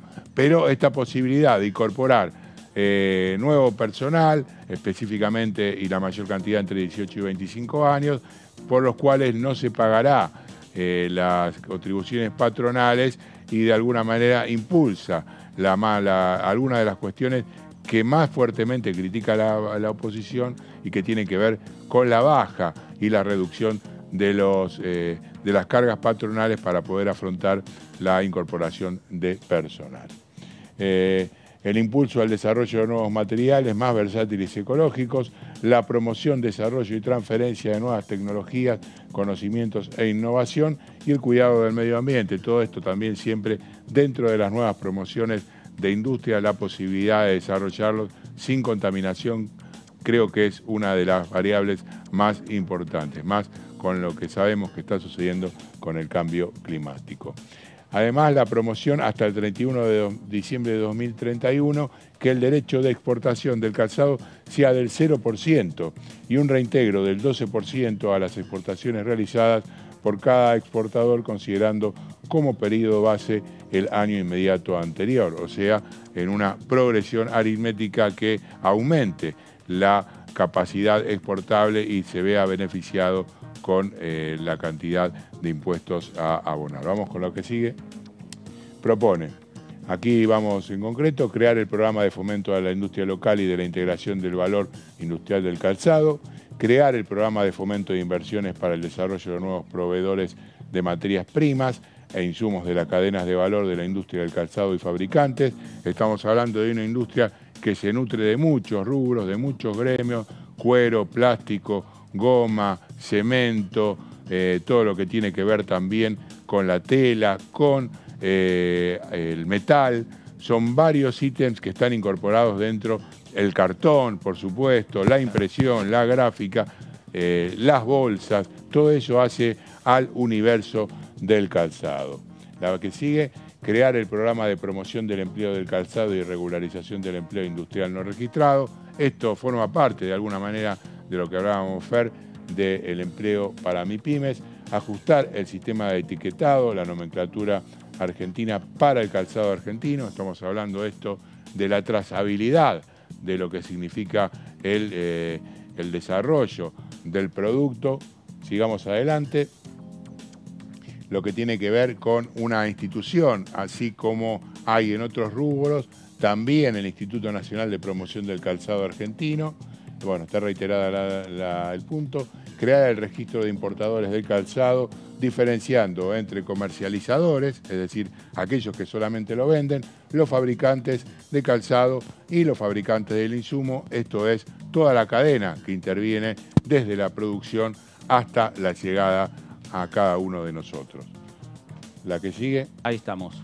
¿Es la última? Hasta ahí, esa es la última. Perfecto. Eh, lo que refleja mm, con lo que sucedió en, esas reuniones de comisión, eh, el, debate prácticamente final respecto a este proyecto de industria del calzado, con la presencia, cuando fue la discusión en la comisión, con la presencia de los representantes principalmente de, eh, obviamente, del sector, y, pero principalmente enfocados en la provincia de Buenos Aires, en el municipio de La Matanza terminó con aplausos para con el debate que se había dado en la comisión respecto a este proyecto de ley de fomento a la industria del calzado. El, el proyecto PYME en el Senado, que también está eh, digamos, tiene algún eslabón, obviamente, con este proyecto, también con este impulso a la industria, eh, tiene dictamen de comisión y está pendiente eh, la discusión en el propio recinto del Senado Nacional. Pero hablamos de este proyecto que está en condiciones y está en la agenda para discutir el martes próximo en, en el recinto de la Cámara de Diputados y quien habló sobre esta iniciativa fue el presidente del bloque del Frente de Todos, aquí en la Cámara Baja, Germán Martínez, de esta manera. De desconocer que además de la política económica, que además de los beneficios de alcance general que puede tener la industria en la Argentina, hay sectores industriales que necesitan acompañamientos específicos como sector, es desconocer la República Argentina porque en nombre de los beneficios de alcance general y de no tener ningún tipo de política sectorial respecto a los sectores industriales, en cada uno de los ciclos que antes mencionábamos se han fundido una enorme cantidad de pequeñas y medianas empresas. Entonces, cuando nosotros nos metemos en estos temas, y puede pasar en otro, en nuestra región, más sufrida que la industria carrocera, por ejemplo, en el Gran Rosario, que se fundió con Martínez de Oz, que se fundió con la hiperinflación alfonsinista, que se fundió con el menemismo, que se fundió en los últimos cuatro años, previo a la llegada de nuestro gobierno, bueno, los cambios de ciclo de política económica y de perspectiva de la política industrial no son inocuos en la Argentina y necesitamos en determinados sectores del país que tengamos beneficios exclusivos para esos sectores industriales para que puedan crecer. En síntesis, me parece que estamos en una muy buena iniciativa y ojalá que podamos seguir aprobando otros. Porque aquí en la Cámara de Diputados hay otros proyectos de otros sectores industriales que son generadores de mano de obra, que son generadores de innovación tecnológica, que permiten el empleo en blanco y que nosotros necesitamos seguir impulsando y atar los proyectos uno con otros. Ahí estaba Germán Martínez, uno de los temas, uno de los proyectos que tiene que ver eh, con la, el fomento a la industria del, calzado, atar un proyecto con otro, señalaba Germán Martínez, y en definitiva, si uno empieza a mirar algunas de las iniciativas, tiene que ver este proyecto con el de el fomento a las pymes, el empleo joven principalmente para las pymes, que repetimos está en el Senado eh, Nacional. Eh, hay otros temas, claro, en la, en la agenda del Congreso para el día martes. Uno tiene que ver con el, tema de violencia digital, un proyecto que el conocido como Ley Olimpia, que se sancionó por parte de la Cámara de Diputados, que pasó al Senado Nacional eh, que el Senado modificó, como nos decía Meli, y como Meli después nos va a ampliar en minutos nada más, eh, modificó alguna palabra y esa palabra, esa modificación, tiene que ser eh, ratificada por la Cámara de Diputados, que la va a ratificar el martes de la semana que viene como hay tanto consenso en esta iniciativa, no hace falta eh, generar una discusión previa en, una comisión para después discutir, tener el dictamen y discutirlo después en el recinto. Directamente el recinto de la Cámara de Diputados eh, se va a conformar en comisión y ahí se va a, aprobar esa modificación. Sí, lo que iba a decir con respecto a esto, la modificación que se hizo en el Senado, no va a faltar el, destacar por qué el agregado de esta parte, ¿no? Porque sin lugar a dudas, eh, lo que tiene que ver con, eh, de alguna manera, lo que sufrieron dirigentes políticas, la propia Cecilia Moró, bueno, ni hablar de Cristina Fernández de Kirchner. Eso ha sido, me parece, el, punto central para que se dé este regreso a la Cámara de Diputados y pueda ser votada el próximo martes. Una eh, una reunión, una sesión en la cual va a haber dos eh, leyes que fueron y volvieron, ¿no? este ping-pong entre las dos cámaras, que no es tan habitual, a lo largo del año no lo hemos visto, no sé hace cuánto que no se da una situación de estas características con dos eh, regresos de la Cámara de Diputados de dos proyectos que van a volver a ser tratados. Sí, Meli. No, y el otro día le comentaba también a Amanda, comentábamos aquí en DTV, que hay otro proyecto más que volvió que es el que declara monumento natural al águila arpía, ah, promovido por el misionero Diego Sartori, exactamente. Capaz sobre tablas también ingresa y no estaba en el temario, no sé. Pero también tenía que ver con una referencia que hacía a la ley de fauna y tenía que ser a la ley de parques nacionales. Entonces, para que quedara bien esa redacción, volvió.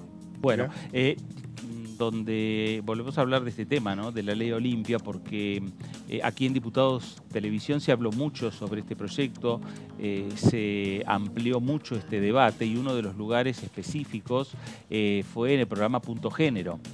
vamos a compartir parte de, de ese programa donde se discutió, donde se habló de la ley Olimpia, que estamos prácticamente a días que se convierta en ley de la nación soy sobreviviente de esto que ahora tiene un nombre, ¿no? o que va encaminado a tener un nombre, que es la violencia digital, en específico de la violencia sexual digital. En México, donde soy originaria, hace varios años difundieron de mí un video sexual eh, que yo grabé con mi pareja, ¿no? Ahora sé que ese consentimiento no fue ni autónomo, ni libre, ni independiente, pero que desgraciadamente no solamente se quedó en la privacidad, sino que además se difundió en redes sociodigitales, en espacios a los que mal llamamos de páginas porno y que cada vez que buscabas en cualquier servidor lo primero que aparecía era ese video sexual con un hashtag, mi nombre y Olimpia la de video sexual, Olimpia la gordibuena de Puebla, de México.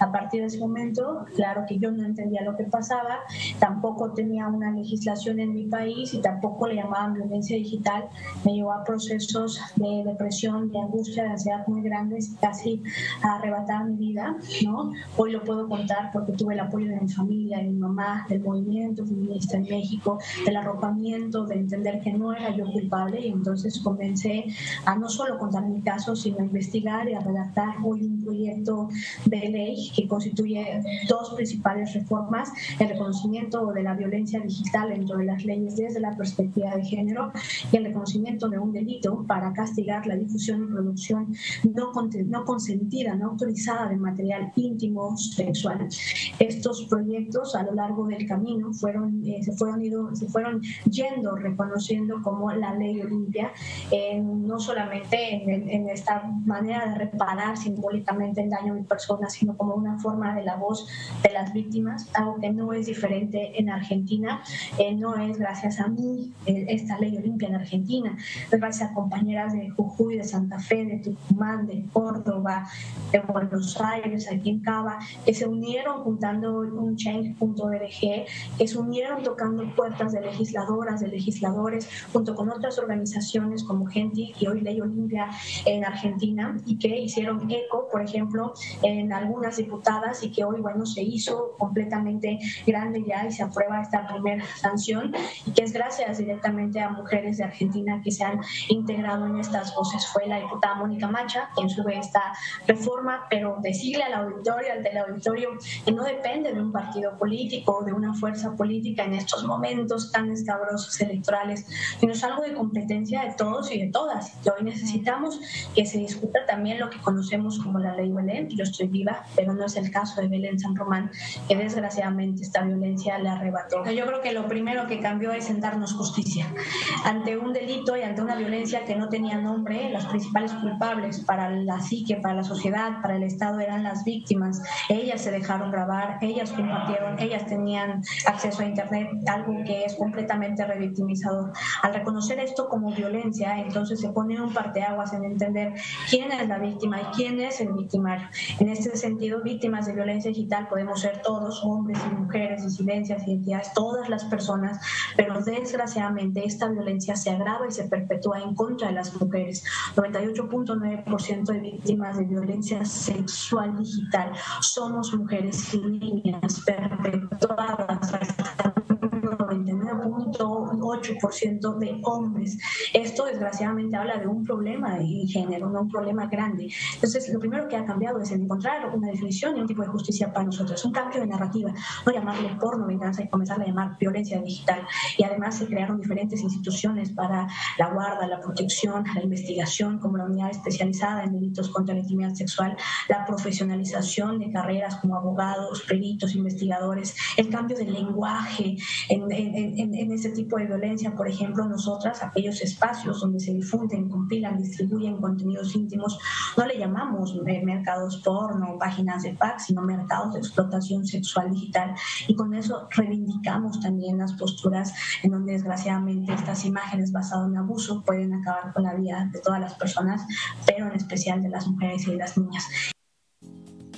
Bueno, ahí estaba Olimpia Coral Melo hablando con Mariana Carvajal, hablando en punto género por aquí, por Diputados Televisión.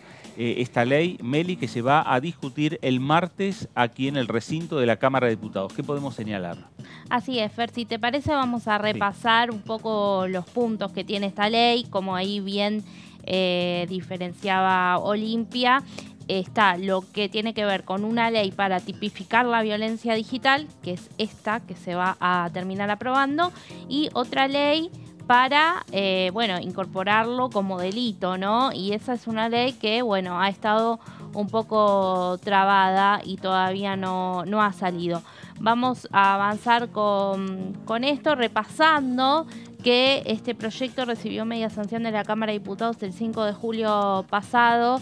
Ahí también eh, Coral Melo hablaba, ¿no? De que en medio de la efervescencia electoral, recordar que esto no es algo partidario, tiene que ser interpartidario y justamente por eso fue que este proyecto se consensuó entre iniciativas de Mónica Macha, diputada del oficialismo, y Daña Tabela, diputada de Juntos por el Cambio. Y ahí se ve em, reflejado ¿eh? en, los números que vos Exactamente, casi unanimidad. Tuvo 191 votos a favor, dos en contra, que voy a aclarar igual de quiénes fueron, pero capaz lo sospechan un poquito. Sospechamos, eh, sí, de Javier Milei. están en el fondo del recinto. Exactamente, Javier Milei y Victoria Villarruel, y una abstención del diputado Carlos Zapata de Salta. Eh, en el Senado se aprobó, eh, sí, el 28 de septiembre, recientemente, por 52 votos positivos y recibió un cambio en su redacción que tiene que ver, ahí pasamos a la siguiente placa, con incorporar un término más. A ver si tenemos la siguiente. Eh, justamente al artículo 4 de la ley 26.485, que es la ley de protección integral a las mujeres, que es en definitiva donde se van a producir todos estos cambios.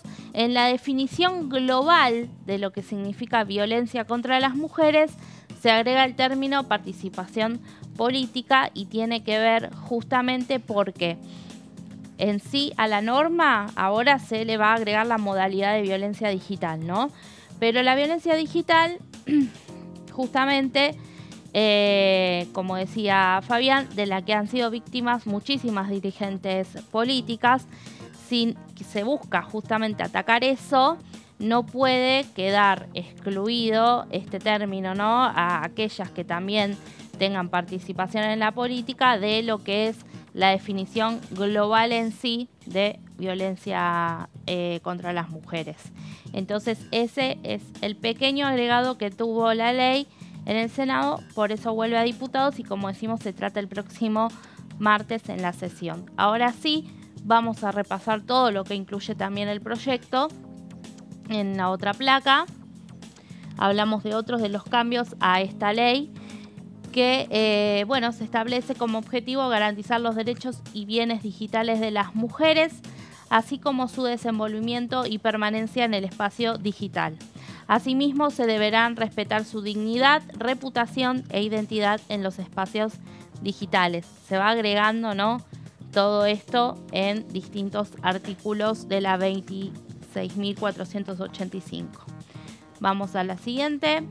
Eh, se agrega la frase el espacio analógico o digital dentro de la definición global de violencia contra las mujeres y se agrega participación política, como decía hace un rato.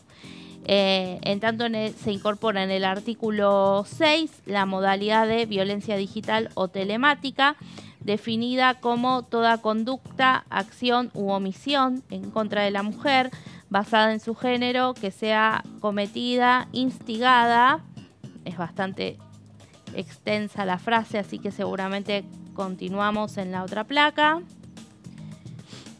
Eh, o agravada en parte o en su totalidad con la asistencia, utilización y o apropiación de las tecnologías de información y la comunicación con el objeto de causar daños físicos, psicológicos, económicos, sexuales o morales, tanto en el ámbito privado como en el público a ellas o a su grupo familiar, teniendo en cuenta cuánto afecta también en el caso de eh, mujeres que han sido víctimas de este tipo de violencia en su entorno, ¿no?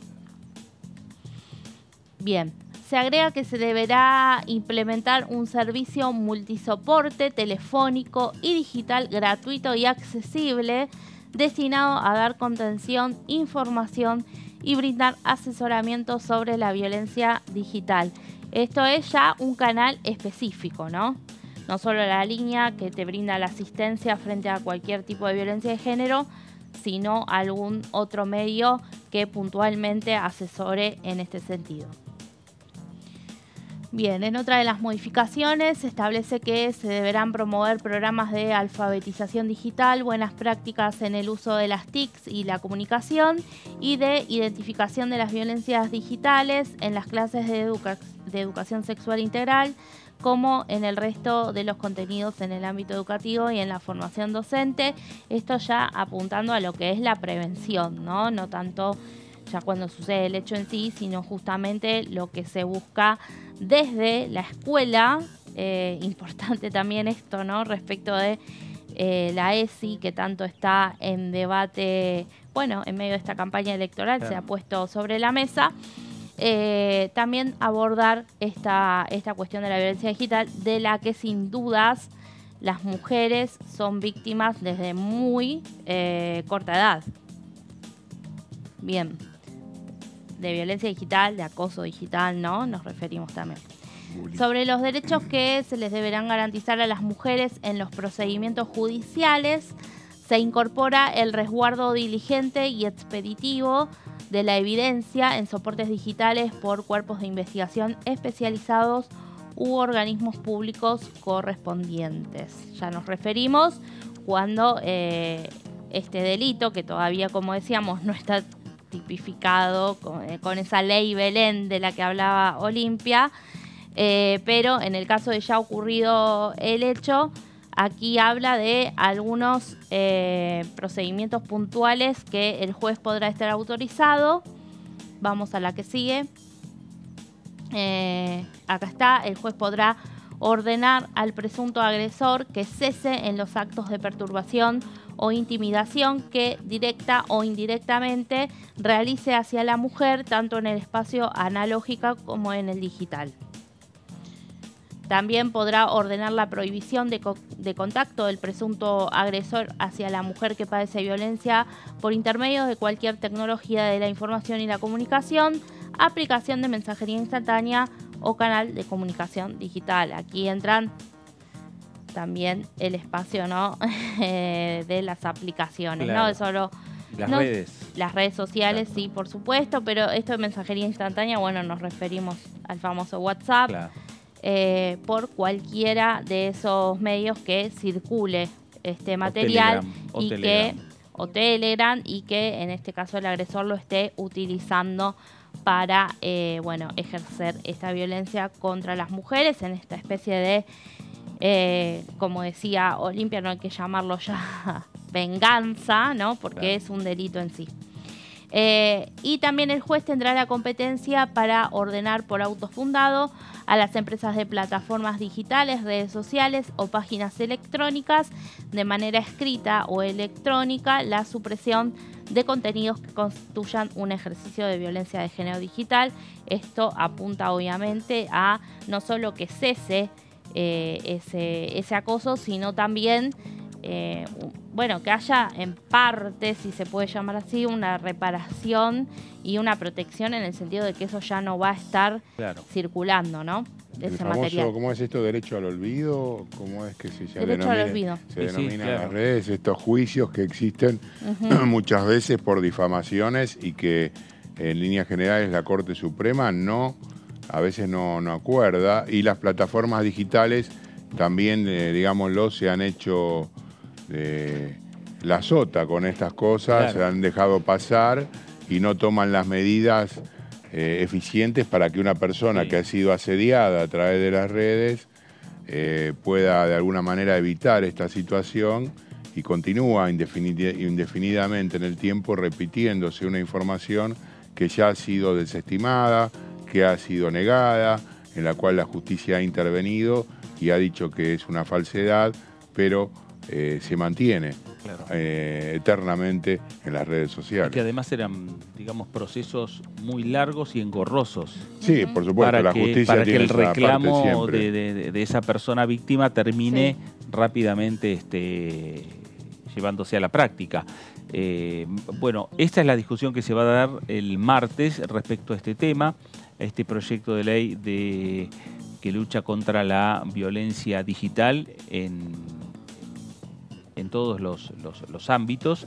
Eh, y lo cierto es que es un proyecto que, repetimos, viene con la sanción del Senado, que no tiene el dictamen correspondiente en la comisión eh, de la Cámara de Diputados, pero que la Cámara se va, con las mayorías requeridas, se va a poner, se va a constituir en comisión y este, rápidamente va a aprobar lo que sería el dictamen y la modificación desde el punto de vista, la ratificación del Senado a, este, a la norma y de esa manera eh, consagrándolo ya como eh, ley de la nación. Esa como otros proyectos que se van a discutir en eh, el día martes, con muchas discusiones desde el punto de vista político, discusiones desde el punto de vista técnico. Ya el diputado Marcelo Casareto adelantó que va a ser una larga sesión la de el, el martes en esta Cámara Baja. Eh, el último punto, en principio, según la convocatoria, el último punto es la ley de alquileres. Sí, pero hay que ver si en la labor parlamentaria no No la cambian y la pasan al principio, Exacto. porque va es la que más debate me parece va a llevar, con Sí. lo cual eh, quizá comience antes, Sí. ¿no? Me parece que, que todas las miradas van a estar puestas ahí y en ese sentido habrá que ver si prima justamente el orden con la cronología que fijó Germán Martínez para la citación o eh, estar de acuerdo con que es el tema que más Claro. se va a llegar y de alguna manera al que la ciudadanía va a estar más atenta, Sí, digamos. Eh, sin dudas eh, pasarán los, los eh, titulares de los bloques, me parece, en el caso de Germán Martínez, en el caso de Mario Negri, Cristian Ritondo, Juan Manuel López, eh, tomando papel y lápiz y haciendo sumas y restas respecto a cómo van a estar los números para la sesión del martes. Sí. Y a partir de esos números, esos resultados que le den a cada uno de ellos, será eh, la intención que van a llevar a la reunión de la Comisión de Labor, para ver si se suma, digamos, este, si el, el- el- lo que es este, el punto donde está hoy eh, la convocatoria de la ley de alquileres en el último punto, si se sube y termina siendo, bueno, estar entre los tres o cuatro primeros proyectos a discutir el próximo martes en, en la comisión. Pero lo cierto es que eh, será un tema que tendrán que discutir tanto oficialistas y opositores eh, a lo largo del fin de semana eh, para tener en claro cuál es la postura que van a llevar cada uno de ellos a la sesión del próximo día martes. Con el tema de la ley de alquileres, este, principalmente con los otros proyectos me parece que los, los puntos están eh, más marcados en torno a aquellos que están a favor o en contra, ¿no? Respecto al proyecto de ley, de, de los diferentes proyectos de ley a discutir en la sesión del martes a partir de las 12 del mediodía. Vamos a compartir aquí en Diputados Televisión uno de los segmentos habituales que nos trae eh, eh, Luciana Fernández aquí a nuestro estudio y que tiene que ver con mis proyectos. Luciana, buenas tardes y mis proyectos lo presentamos así.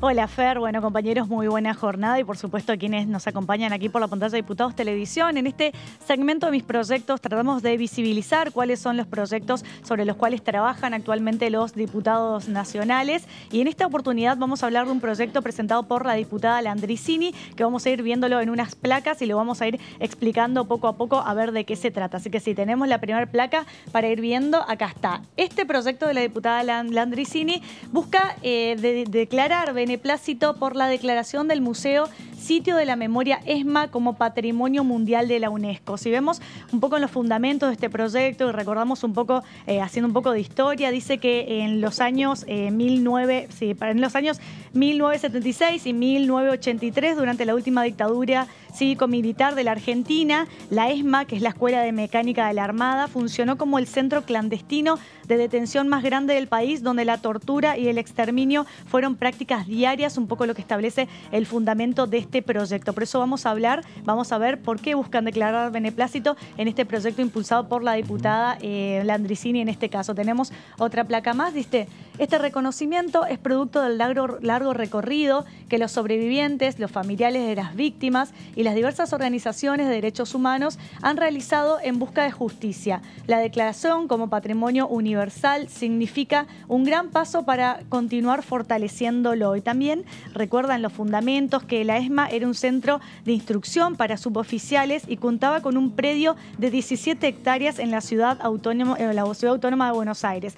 Desde allí operaba el conocido grupo de tareas 3.32, eh, ¿no? el cual estaba bajo las órdenes del Servicio de Inteligencia Naval de la Marina de Guerra y se planificaban secuestros, asesinatos, desapariciones de manera sistemática, terminando con la vida de miles de jóvenes. Un tema muy importante, sobre todo para, para tener memoria, ¿no? para recordar que estas cosas no pueden volver a pasar aquí en la República Argentina. Tenemos un poco más de información de placas. Dice la ESMA, como decíamos, en un centro de instrucción para suboficiales y contaba con un predio de 17 hectáreas en la Ciudad Autónoma de Buenos Aires. Desde allí operaba el conocido grupo de tareas 3.2, 3.32, el cual estaba bajo las órdenes del Servicio de Inteligencia Naval de la Marina de Guerra y se planificaban secuestros, asesinatos, desapariciones de manera sistemática, terminando con la vida de miles de jóvenes, como bien lo estábamos diciendo. Tenemos un poco más de otra placa, un poco más de información. Dice, las Naciones Unidas han reconocido a la ex-EXMA eh, y al Museo de la Memoria como patrimonio de la humanidad y eso significa que lo que sucedió debe quedar en la memoria de Argentina, por eso es muy importante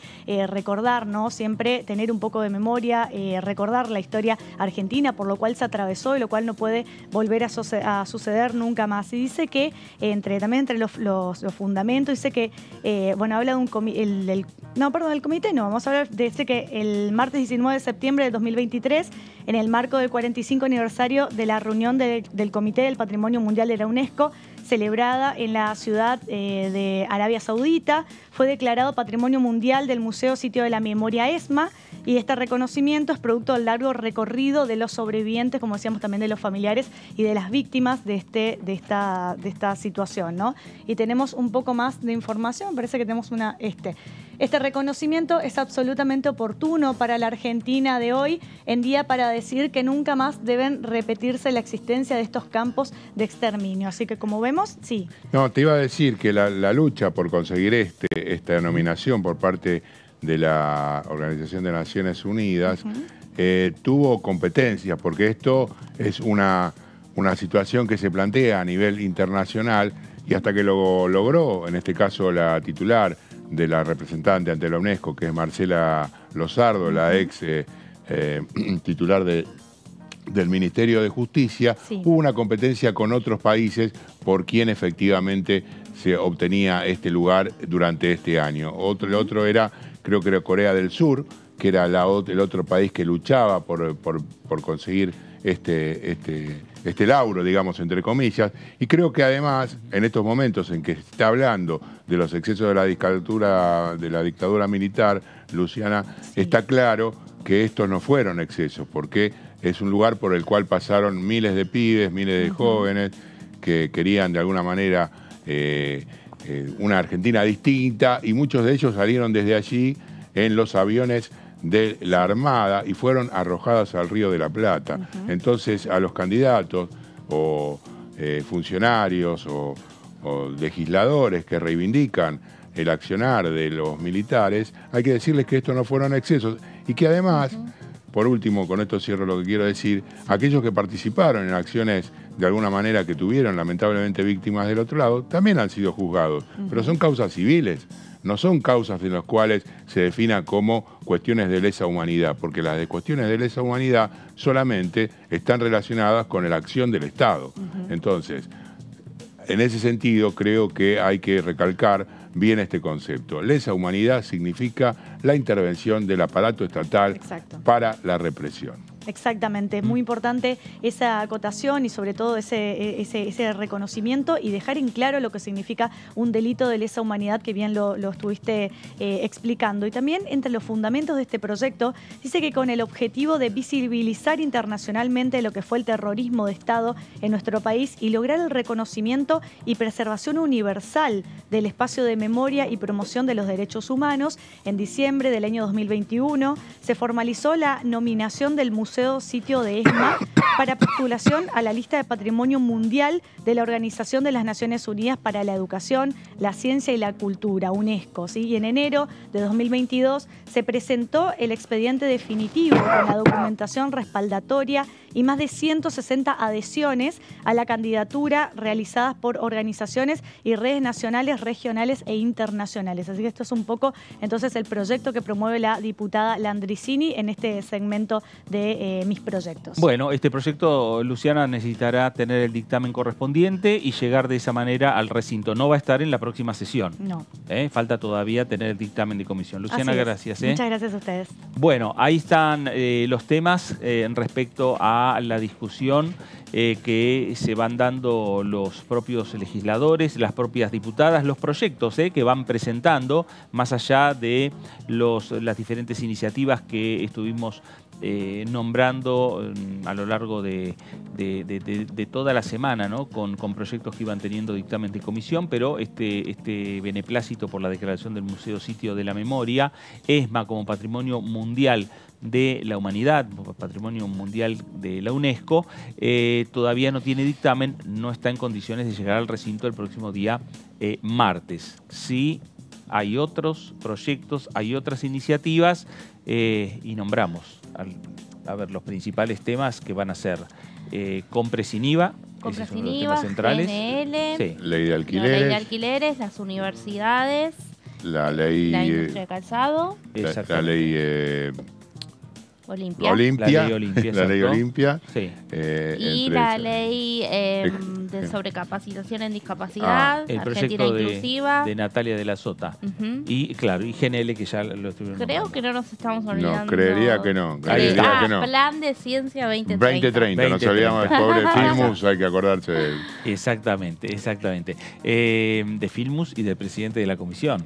Está bueno, está bien. Estamos hablando de Facundo Manes, claro, por supuesto. y a Chile. Que pobre quedó solo en la comisión casi. Junto, con, Daniela Tabela. Exactamente. Sí, una discusión muy fuerte, recordemos ese día. Y un reclamo muy importante de Manes. compañeros suyos tuiteando también, ¿no? En ese momento. Eh, bueno. La discusión que se va a dar la próxima semana, repetimos lunes, reunión de energía para dictaminar el proyecto de GNL. El debate, el domingo. El debate el domingo, obviamente, a partir de las 9 de la noche. Eh, Meli, Fabián, gracias. A vos, gracias, nos vemos. A usted también, eh, gracias por estar ahí. Quédese en Diputados Televisión. Eh, esto fue el análisis. Gracias, nos reencontramos.